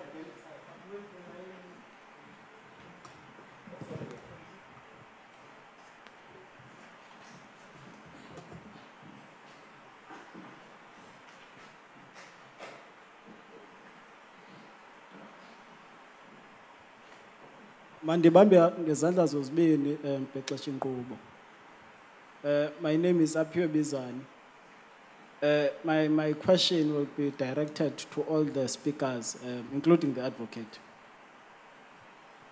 The first problem is the problem of South Africa itself. South Africa as a society was born out of the political imagination of white people. And it was a, a white supremacist arrangement that is meant to benefit white people. When it was born, then hasn't changed much now. And so are the universities, because the universities were established to keep the children of the settler colonizers with what is happening at home um, in the metropoles. So, my question is to all the speakers Does the legacy of Mandela, uh, situated in the Nelson Mandela University, which is currently enacting brute violence on students, possess sufficient theoretical handles with which we can decolonize society.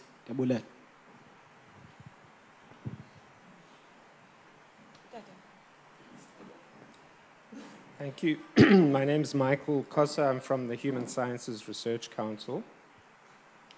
Um, I was interested to hear, Sumaya, in, in your opening remarks, uh, quite a lot about the generational differences, young people versus old people. Um, you said things like every young person questions the old order, each generation has their own uh, role models they take on. And I think there is an issue here. You know, we, especially old white uh, males, tend to be very ageist in the way we approach um, uh, conferences like this.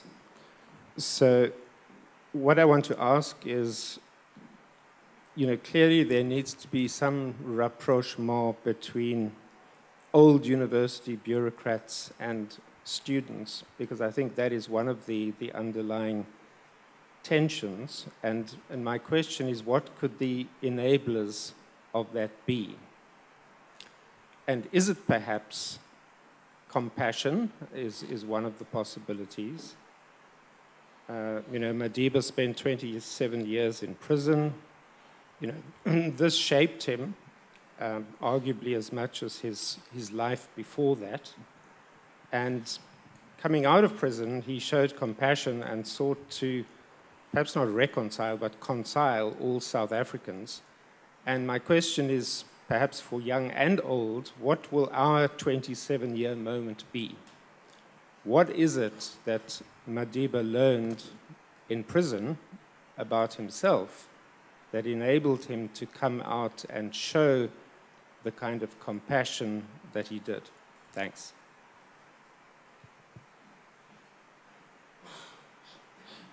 I just want to give uh, the speakers uh, just a moment to answer those two questions. I think the questions are going to be quite deep and um, can be answered in, multi- in multiple ways. So I'm just going to give you a chance to respond to those two questions and then we'll go back to, to the rest.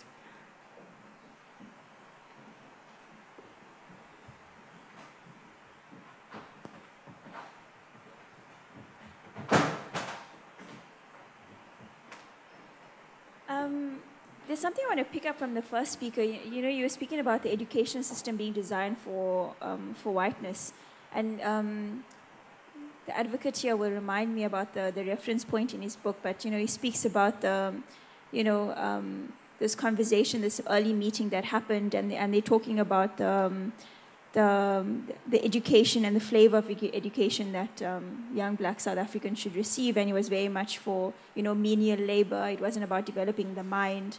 Um, and so we see how that manifests in like post South Africa, um, um, like post apartheid South Africa, where on the one hand you have these um, tertiary institutes that's been designed for white people now being occupied by black students, and yet there hasn't been a change in pedagogy. And so, you know, there's this, what he spoke to about, you know, the, the struggling to, to operate within that system because, in, I mean, it, it's not even making the assumption. It, it, it's literally, it was not designed for black students. But, but the other interesting thing is that um, because there's been this, this instrumental, uh, this, um, this, this approach to education and this um, for black students saying we're going to, you know, focus on technical expertise, you know, in post-apartheid South Africa, we see this like a rejection of that by, by many young people not wanting to go into those fields because it, it's not seen as, you know, as, um, as, as lucrative as, you know, engaging in um, the, uh, the academic pursuits within a tertiary education.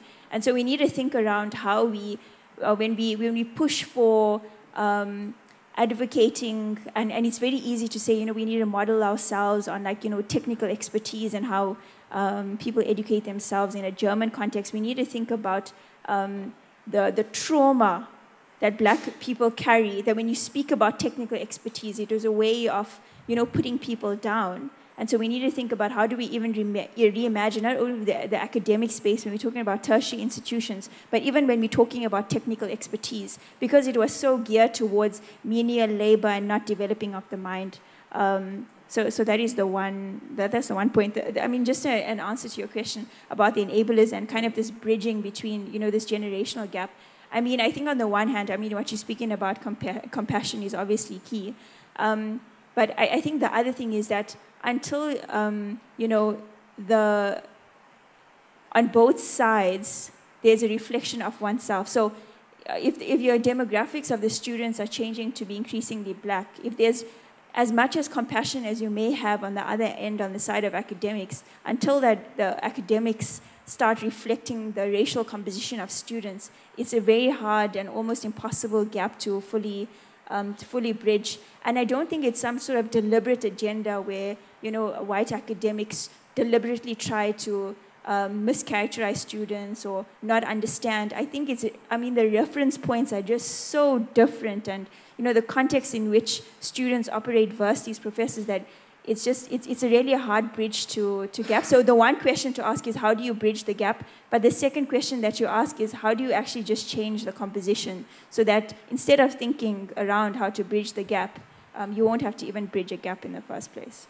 So, yeah. Um, there was one question that came to me from Aphiwe. Um, what what I can say to you, my leader, is that um, the decolonial rhythm, uh, it's not going to be done for us by uh, the management of the university, right? Um, because that section of uh, the university after this colloquium, is going to go back to its usual stuff that it does the, the compliance, the emails, um, making sure that they pass audit. It's going to go back to its crap, right? So, what you do in that space to continue the decolonization rhythm is to continue with the, our own spaces that we've created in the system, right? uh, to, to debate these issues, to ignite each other on what needs to be done uh, for the system to be pulled into the direction that we want it to be pulled on. The nice thing now is that it looks like decolonization is becoming a, a nice thing that the university talks about publicly now. It's in, it's in its official statements and all those things. Even though it might be doing it for compliance issues, we should take advantage of that right, by holding it accountable with our own uh, radical actions. That to us, this project, it's not for statements. These are the programs we're putting on the table that we want to carry forward practically as the, the, the, the student movement. Right? So the, the, the book clubs that we've been running, right? the, the current project we're on now of turning residences into decolonial spaces, of shifting the pedagogy of our students there, those platforms must continue from our side. Right? Because I'm sure what you've learned outside of the classroom, it's a degree on its own, as compared to the kunzu you were learning in the classroom. Right? Most of the decolonial project that you have in, and, and, and, and, and your outlook in shifting the patterns of society, it's something that you learned outside of the classroom. So the platforms we're creating outside of the classroom must be intensified. Right? Because when I left the, because when in the SRC, you have the privilege to even sit in these big committees and you're like, oh, okay. When I, when I was living at, uh, at, at, at the level of EXCO, there was not EXCOMAN, what's that committee below council? Senate, yes. At Senate, they are still asking, what is decolonization? No, in my faculty, we're still defining what decolonization means. 2017, in the African continent, we must still explain what decolonization is and why it must happen. Can you see where they, they, they, they still are? Right? It, it's still those uh, cosmetic discussions there that do not have a, practical action towards what we seek to achieve as far as decolonization is concerned, right? So how then do we make it, even this word, man, I don't want it to be a slogan, right? But rather it must be a, a programmatic uh, mission, right? That has its different mechanisms in carrying our program forward. So the platforms that we have created for ourselves uh, to shift our own pedagogy for ourselves, those platforms must continue. Our other spaces of education for ourselves, it's the protests that we run and the interdicts that inspire us to wage more action against the status quo. Those ty- type of actions must continue. And I say this because the advantage we have now is that across the higher education sector, majority of students enrolled are black students across the sector, right? So you can imagine when those people become graduates, having been socialized in our decolonial spaces that we've created amongst ourselves, you are going to have a new breed of citizens who have a shifted pedagogy. Right? You're going to have new, a, a new breed of graduates in society who have a shifted pedagogy. Because one of the things that we must instill amongst ourselves is the obsession of looking at the value of education based on the type of car it can buy you when you graduate. Because it's, it's as if when you do a BA, you are stupid, or these ones who are doing medicine who are, who, who, who are happening, right? Because they go on and their qualification has a certain value in the capitalist market, right? However, in our own cycles, we need to dismiss that type of psychological thinking about education by looking at ourselves as citizens who have value as a collective based on the pedagogy we gave ourselves in alternative spaces that we created in the university. So the university space has many possibilities that we can imagine about what we want to, to, to, to achieve. So let them play their games. We create our own platforms. When we meet, we confront the status quo and pull the university to what we want it to be. The fact that it is writing publicly about decolonization, whether it's playing games or not, it's wonderful for us. We must use that uh, direction and pull it to our own direction.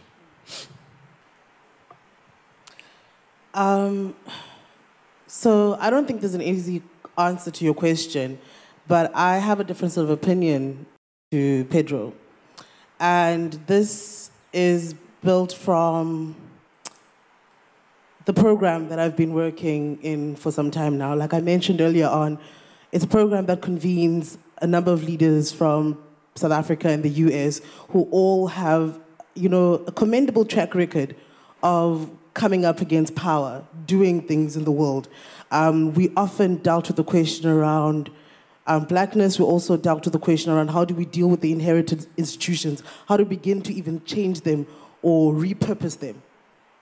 And with that conversation, as much as it's, it's we, we came at a crossroads because as much as you, you're right, we have to create spaces in which um, we reimagine, in which we developed, in which we try to change the course.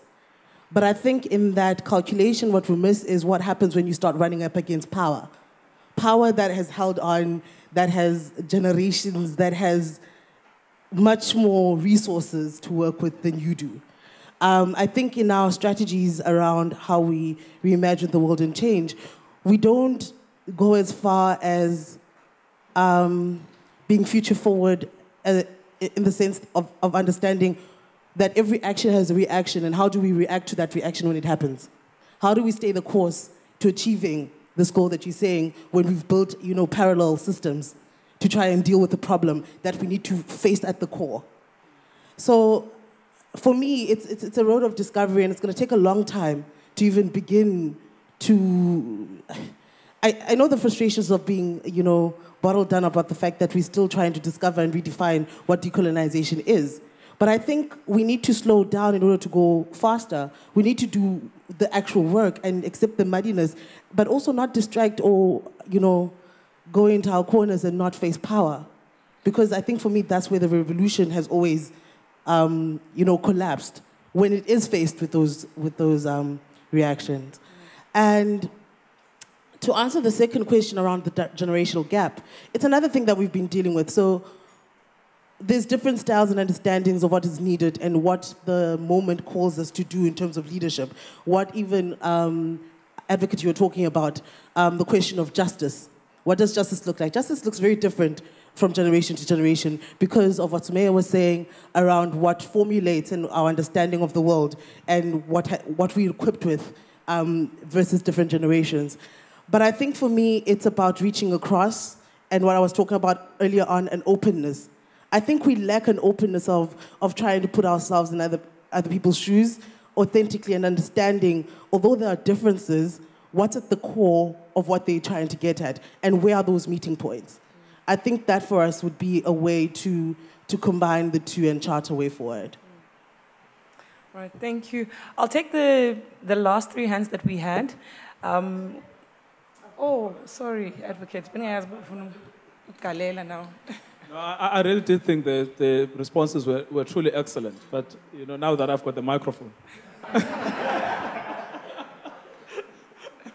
I mean, so I, I think there are three points I, I really want to make, and I'll make them shortly. So, I mean, the point about the establishment of South Africa as a colonial construct, it's true as a matter of history. But that's as far as that debate goes. South Africa today exists, and the idea of reimagining it as a political entity, I think, seems to me a little bit far fetched. In 1963, the Organization of African Union met. The big question was should Africans redesign the borders? What did they decide? Overwhelming majority, no. So Africans have accepted the 1883, now 1884 borders drawn in Berlin. Do whatever you want with that information, but they did. But that obviously does not mean we should be happy with its economic, political, and cultural construct, which is what we are debating in conferences and universities across. And this is what the input is really about. It's not redesigning whether South Africa should or should not exist. It's accepting that it exists, but remodeling it so that South Africa truly belongs to all. So, on the point about education, I would make only two points. The one's a point of history. Sumaya is right. In my own research about the origins of black education, black students were kidnapped by whites and sent to school and beaten up and told that if they spoke in their own languages, they would be killed. And that they should now stop praying according to Kamata Katai, they should start praying according to God, to Jesus, etc. They were told they must strengthen up their hair, they, must told, they were told that they must abandon their uh, traditional attire, the, the, the, goat skins and the other things, and that they must wear these things, uh, shirts and whatever. So, the process of educating the native, quote unquote, was a traumatic process, deliberately engineered from Europe and executed here by people that were meant to be men of God, missionaries. And corporal punishment was routine. You were caught speaking in your own language, they would beat you up. We know also this from Mandela's own book. Mandela had no interest in changing from Rolihlahla to Nelson, but it was an instruction at the school. The same thing with uh, Oliver Tambo. Oliver Tambo also had no interest in being Kaizana or Oliver. That came as an instruction from school.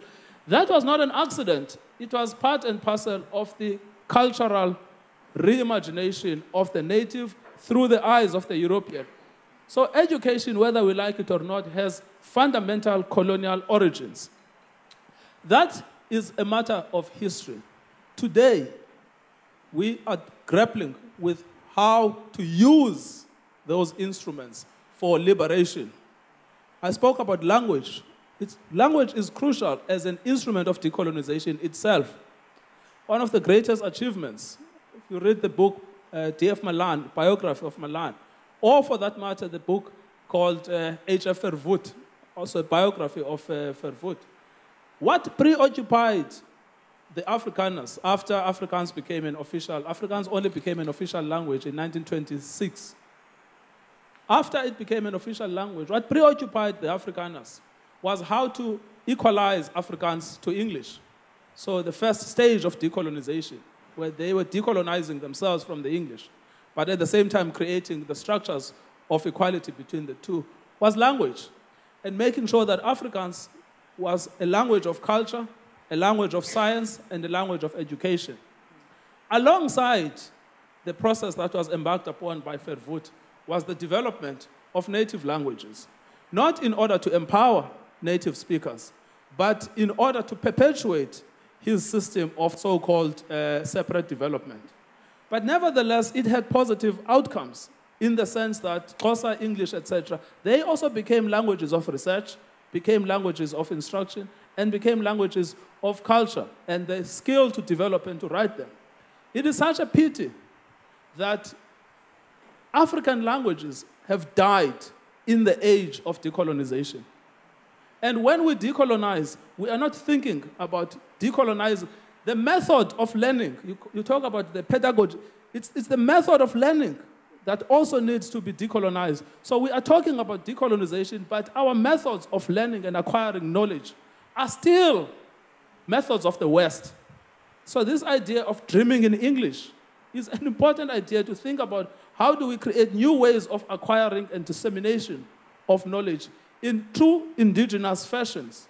So one of the things we should be doing is thinking seriously about African languages. An important part of education was cultural debasement. It was the idea of always taking you away from your people and telling you that you were better if you were not being uh, kidnapped. You were always told that you were better. So it was the us and them. And the key part about the new form of education is the destruction of that separation and to create that unity between us and them.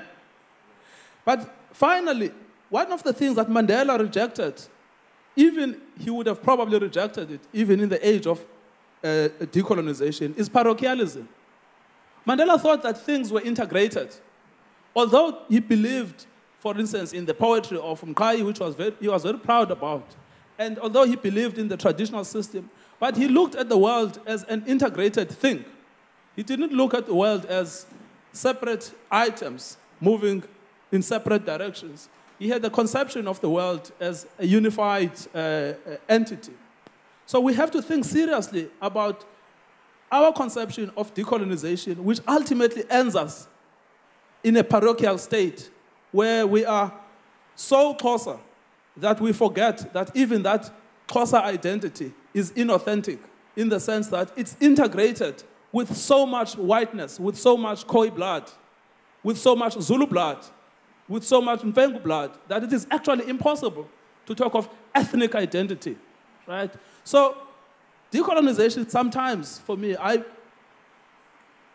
get scared of it if it starts acquiring sort of an ethnic and a, a form and, and, a, a, parochial form. I try to think of decolonization in the way that is truly, truly uh, integrated. And so to use the, the lens of equality uh, more than anything. But in order to get there, we have to develop. And your point, Patronella, is an excellent point before I, I, I forget to uh, compliment it in the sense that we have to build the process one brick at a time. There are no easy solutions. Even the decolonial imagination means that we have to spend more hours in the archive and more hours in the universities and more hours in the libraries developing the alternative forms of knowledge. But if we have to develop alternative forms of knowledge, we must master the existing knowledge. Okay. Thank you so much. Um, colleagues, the inputs and the answers were very rich. Do not be afraid if you're to be captured, if your question has already been answered in the discussion and the answers. Um, this is a safe space. You are allowed to be captured. All right, so we'll take the final three. It was one, two, and at the back.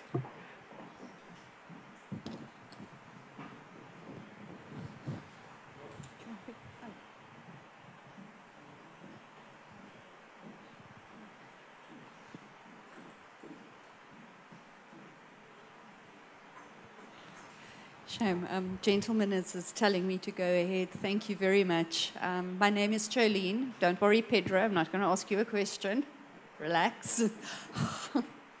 um, I'm a senior research specialist at the Human Sciences Research Council in the Democracy, Governance and Service Delivery program. I'm also an associate professor at the Center for Gender and African Studies uh, at the University of the Free State, and I also lead the South African chapter of the um, Gender and Transformation Academic Group in Gender and Transformation in the Indian Ocean Rim Association.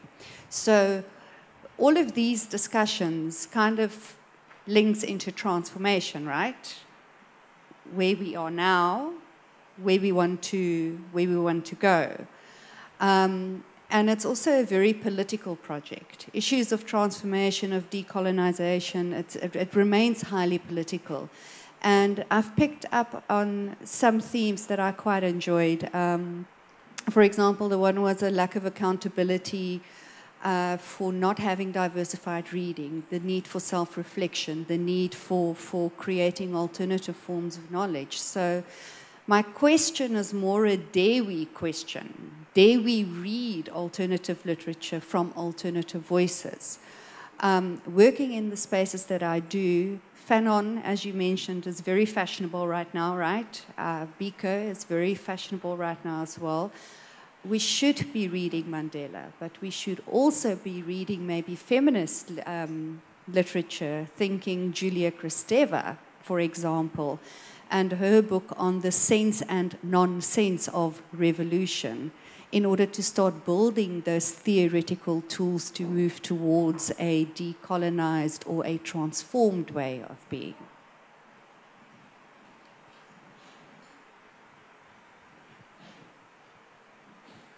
Um, good day, colleagues. Firstly, congratulations to the three parties who've put this together. I'm always, as a non-South African, intrigued as to how we can bring so many disparate parties together. Um, my name is Kojo Paris. I'm a lapsed Marxist and a former investment banker. Um,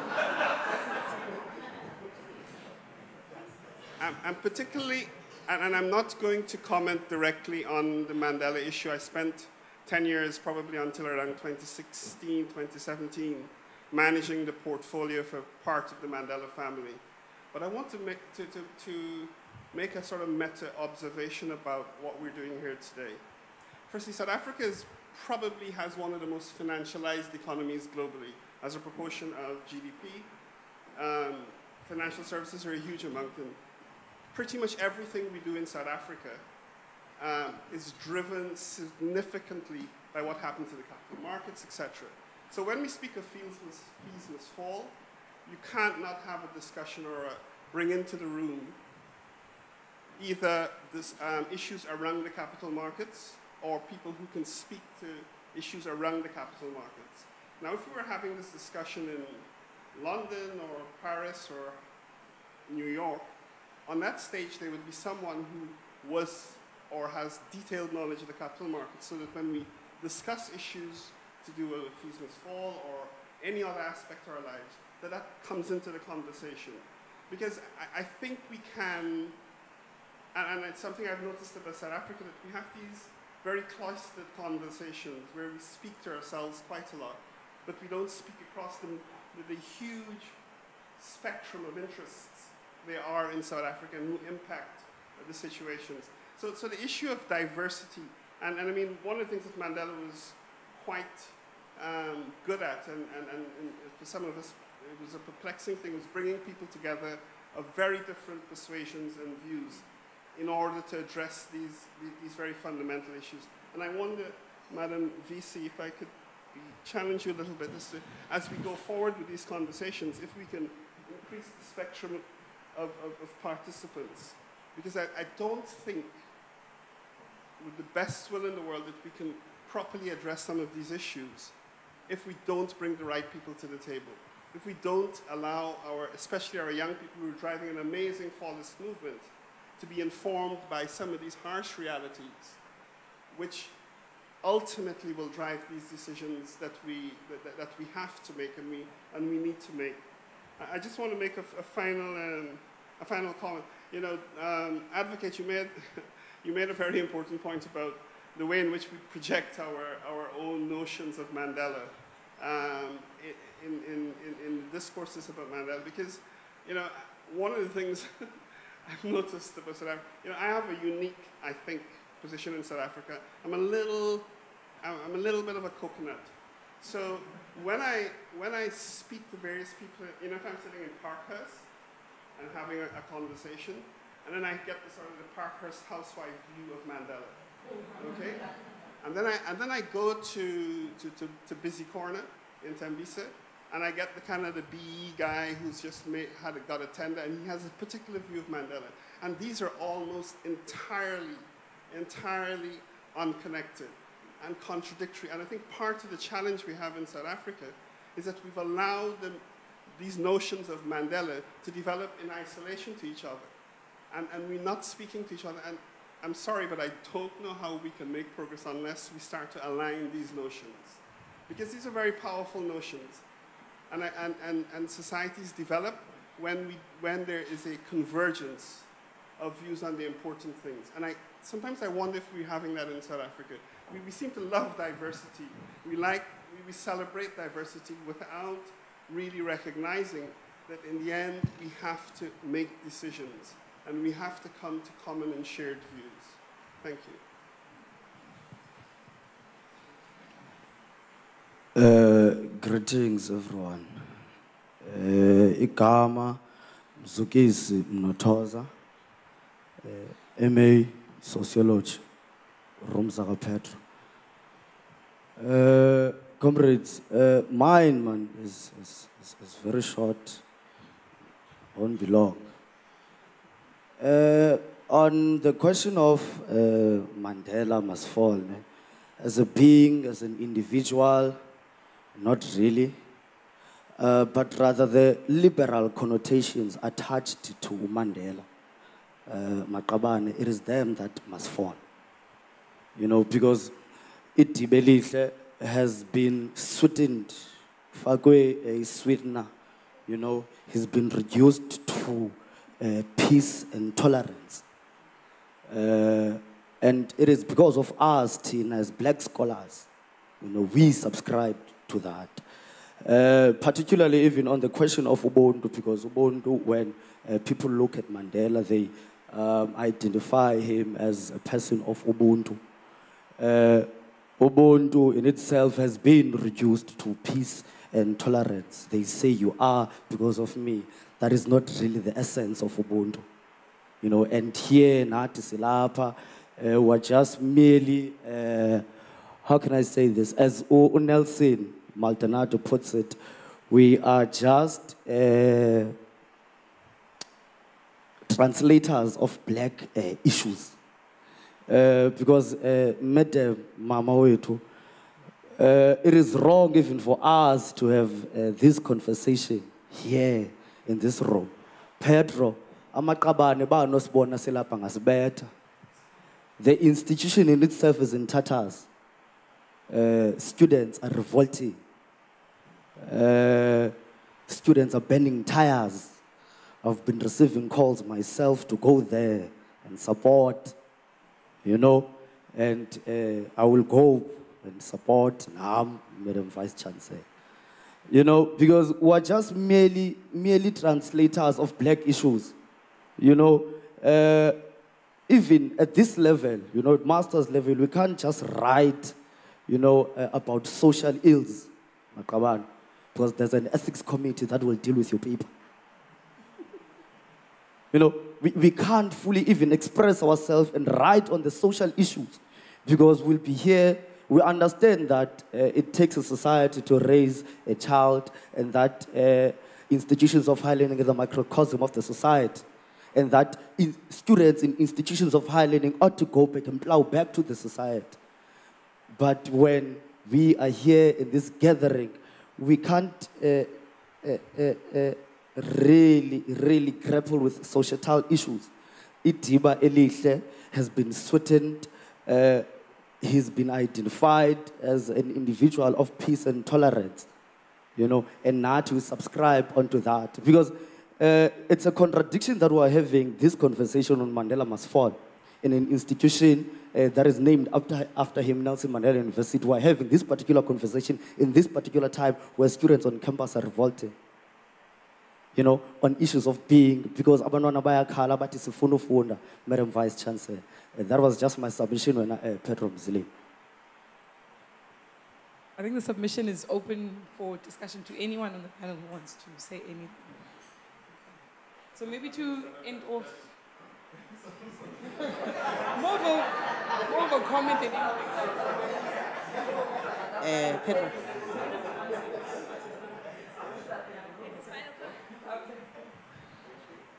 So I'm, I'm probably just going to ask the, the conversation starters and our panelists to give just final comments then as well. You can incorporate what has come from the questions as well, but just to wrap up the discussion for us as well. There's just two points. I mean, one is just to follow up um, a thought. You know, the problem with question and answers is that you obviously think progressively, like you have a thought, and so I want to just come back to a thought that um, from following a question that you you raised, and I. Um, I mean, obviously, you know, the transformation agenda is important in terms of um, the racial makeup of university spaces. But I think it's really important that um, right now with white, uh, white academic staff, that they start, you know, as young people would say, start building their receipts, um, especially when it comes to how are they playing a role in contributing to the decolonization project and helping students um, in this, their personal self-actualization project. Um, and so I think that for me is very important. And the one point, I mean, we didn't talk about it on the panel, but, you know, so Madiba, you know, comes out of prison and um, becomes president and, you know, also there's this um, tug of war with capital almost, right? So, you know, one day he's with, you know, the richest person in South Africa or, you know, um, rich cabals in a sense. And then the next day or that same day, then he's also with, you know, working class people and with communities. And so he's always had to, you know, navigate these different worlds. And to some extent, that's something that we all have to, to battle with, you know. So we have families that, so I have family, you know, living in, in Hanover Park, Mitchell's Plain, but then I also traverse these very, like, rich spaces, not to the same extent that Madiba has had to navigate.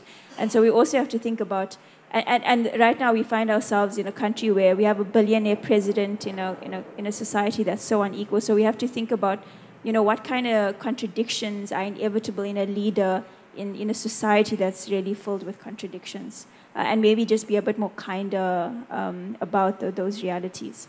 Um, so that, that's just my concluding thoughts.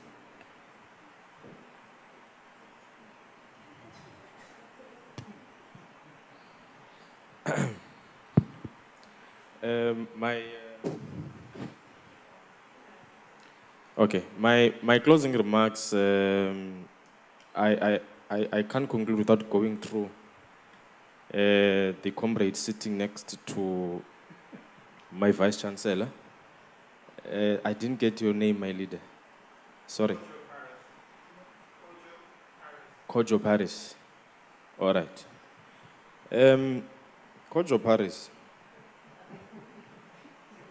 you, you are saying that according to you, not everyone is in the room,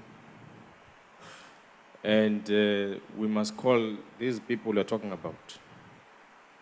Um,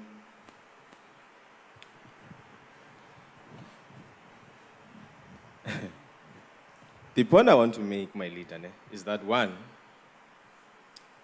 um, everyone is in the room, and if you and, and, and if you claim that you've been in South Africa, then I don't know which South Africa you've been you've been seated on, right? Because we've had discussions with the people that you're talking about, right?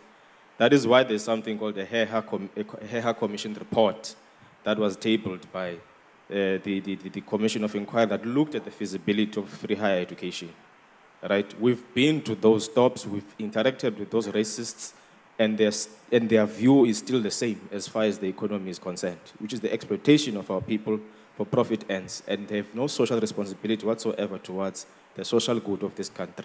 So, what I want to say is that um, the, the, the, the, in fact, even the of the discussion today is, isn't about that, all right? Um, at, at the center of the discussion today is with Madiba being uh, qualified as the name of the university, right? Looking at the contextual questions that came from the Must Fall protest and how we move ahead as, a, as, a, as, a, as an institution, how then do we imagine these progressive possibilities that we're looking for uh, from our critical scholarship that we're going to do as a university? How do we quantify that, that, that, that particular question? So that, the one that you're coming with was answered, my leader, and uh, the third point I want to make is that um, at, the, at the center of the debate at the moment as well is this unresolved question of the cultural justice that I'm talking about coming from the must fall movements, right? Because at the center of the architecture of these institutions is how they socialize the type of graduate that comes out of them, like I said. And even the practices of its middle management, right? Because you're going to have the program carried out in your lower uh, workers and the students, and also the top management might agree with you, but the bulk of your middle management, how do you have a middle management that just has a, a attitude towards progressive outcomes that the entire institution wants to carry out? Right? How do you make that section of the university not become a stumbling block towards the, the, the possibilities that we can achieve as a university that we, we, we, we, we seek to do? How, how, how can you have different HODs? I don't know how to ask this question about the, the, that section of your, the labor force in the university that is a blockage towards what we, what we seek to achieve uh, as a university. Because the liberal statements that you are speaking about, right, the cosmetic changes, right, if you trace their reproduction at the moment, is at that level of, of, of, of, of, of the university. Of course, it does not mean at the top and the bottom you can't have um, right wing um, habits from, from, from, that section. So you, you even hear the lack of commitment and agency towards dismantling the status quo, even in the usage of language, right? We were fighting for equality and equity. Um, all these words, man, of liberalism that have nothing that has to do whatsoever with shifting the, the balance of forces towards the, the, the, the, the alternative. So the last point to conclude from my side is that um, the student movement must continue with the decolonial rhythm. There must be a strong uh, commitment towards scholarship. Uh, nobody must carry any program that is immune from critique. Uh, that should be our commitment. And the recording of archives and the capturing of, of, of, of, of Mandela and what the figure entails when it is attached to a university. It's a project that is at its early stages that will continue to have critical studies for many decades to come.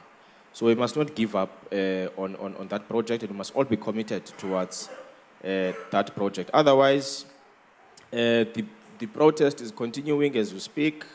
We don't want to destroy our university. We just want things to be done properly for the black child. Uh, so, so long as there are still commodification issues about students accessing the system, unfortunately, that revolt will have to continue until it is addressed uh, by these managers who are not supposed to be playing to be playing games. They must stand up and address uh, the issues of the students because they know what they must do for the university to go back to normal and have a, a progressive project uh, for the black child. Thanks. So, in the interest of time, my concluding remarks are going to be very short. But based on the conversation that we had here today, which I think was, was quite interesting and had me reflecting on a lot, I think, in short, we need to be realistic around what it is that we are dealing with and the pers- persuasiveness, yes, that's the word, of, of power and how power functions, how it reproduces itself, how it maintains itself, and, you know, um, and what it is that it requires of us in this moment. I say that because I understand that there's an urgency in the moment to change things, but I also think in our urgency, we, we tend to not do the work that is needed. We tend to not want to deal with the muddy waters. We tend to not want to actually build, but I don't mean build out of urgency, but build things that will last. So that we're not constantly going back and forth, not constantly having to reinvent, being pretty much being distracted in most cases from, from, from experimenting forward or falling forward. And I, I do think that um, we need to reach a place where we are able to stretch across and be comfortable with being uncomfortable, but in an uncomfortability, having an end goal of building a future that we can all understand that um, that building a future that will be inclusive, but and but also understand that at its core, it has to preserve the dignity and humanity that we all share. I, I think for me, that is one of the biggest lessons I'd had to deal with and take from Nelson Mandela. Yeah. Uh, uh, uh, also, just uh, to sum up uh, in probably three or four points, you know. I mean, so what we get from it is that, from at least the conversation, is that so Mandela is not one thing today, but Mandela has never been one thing in the past either. That is not a bad thing, right? It was the ANC that decided that Mandela will also be a canvas for many other things beyond this sort of today we call struggle icon. So it was his own party that decided that Mandela will also be a collective symbol of national resistance. But after that, the ANC decided that he will become a collective symbol of national identity. So he has never been one thing.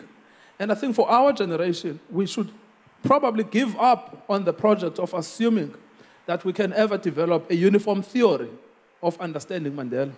We should accept that his personality, his politics, and probably his intellectual contributions are incapable of reduction into one thing that we can all agree on. And that is probably the greatest legacy that Mandela should leave us with. It's the idea that he is irreducible to one thing.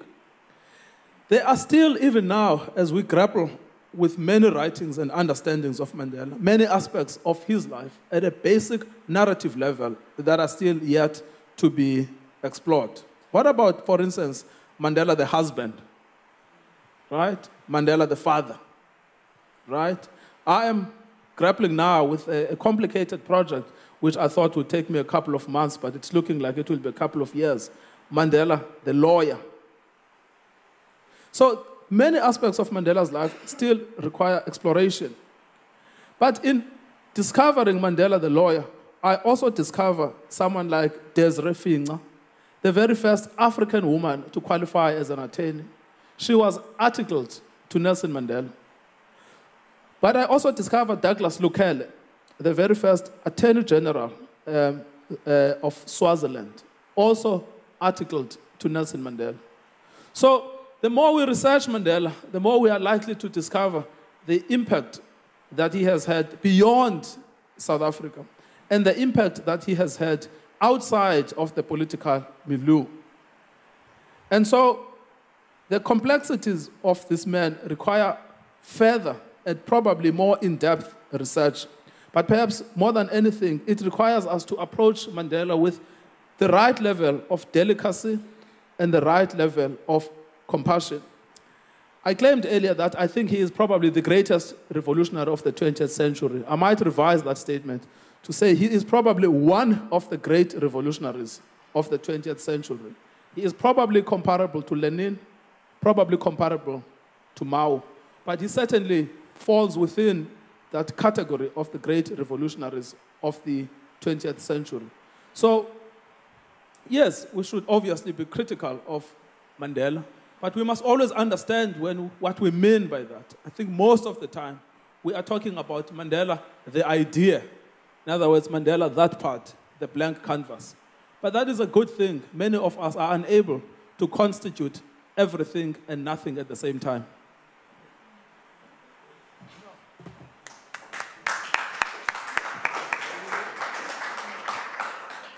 I'll then just take the opportunity to thank you again for sharing with us your insights and your inputs. I think everyone enjoyed the discussion as long as it was. Um, thank you so much to the audience as well for, you know, just staying involved and engaged and participating as well. I've just got three announcements. Um, lunch is going to be next door in the music building. So we go down the stairs, we go out, and then the building on our left will be where lunch is. And for obvious reasons, tonight's event will not be taking place on 2nd Avenue campus. It's going to be at the South End Museum. But we've reorganized then the shuttle schedule to then provide for to, to make sure that those arrangements um, can happen. And then the last announcement is that a gray VW Polo um, has left their window open. So if you could attend to that. Okay, so if everyone could uh, go to lunch, may proceed, and then please can you return at half past one.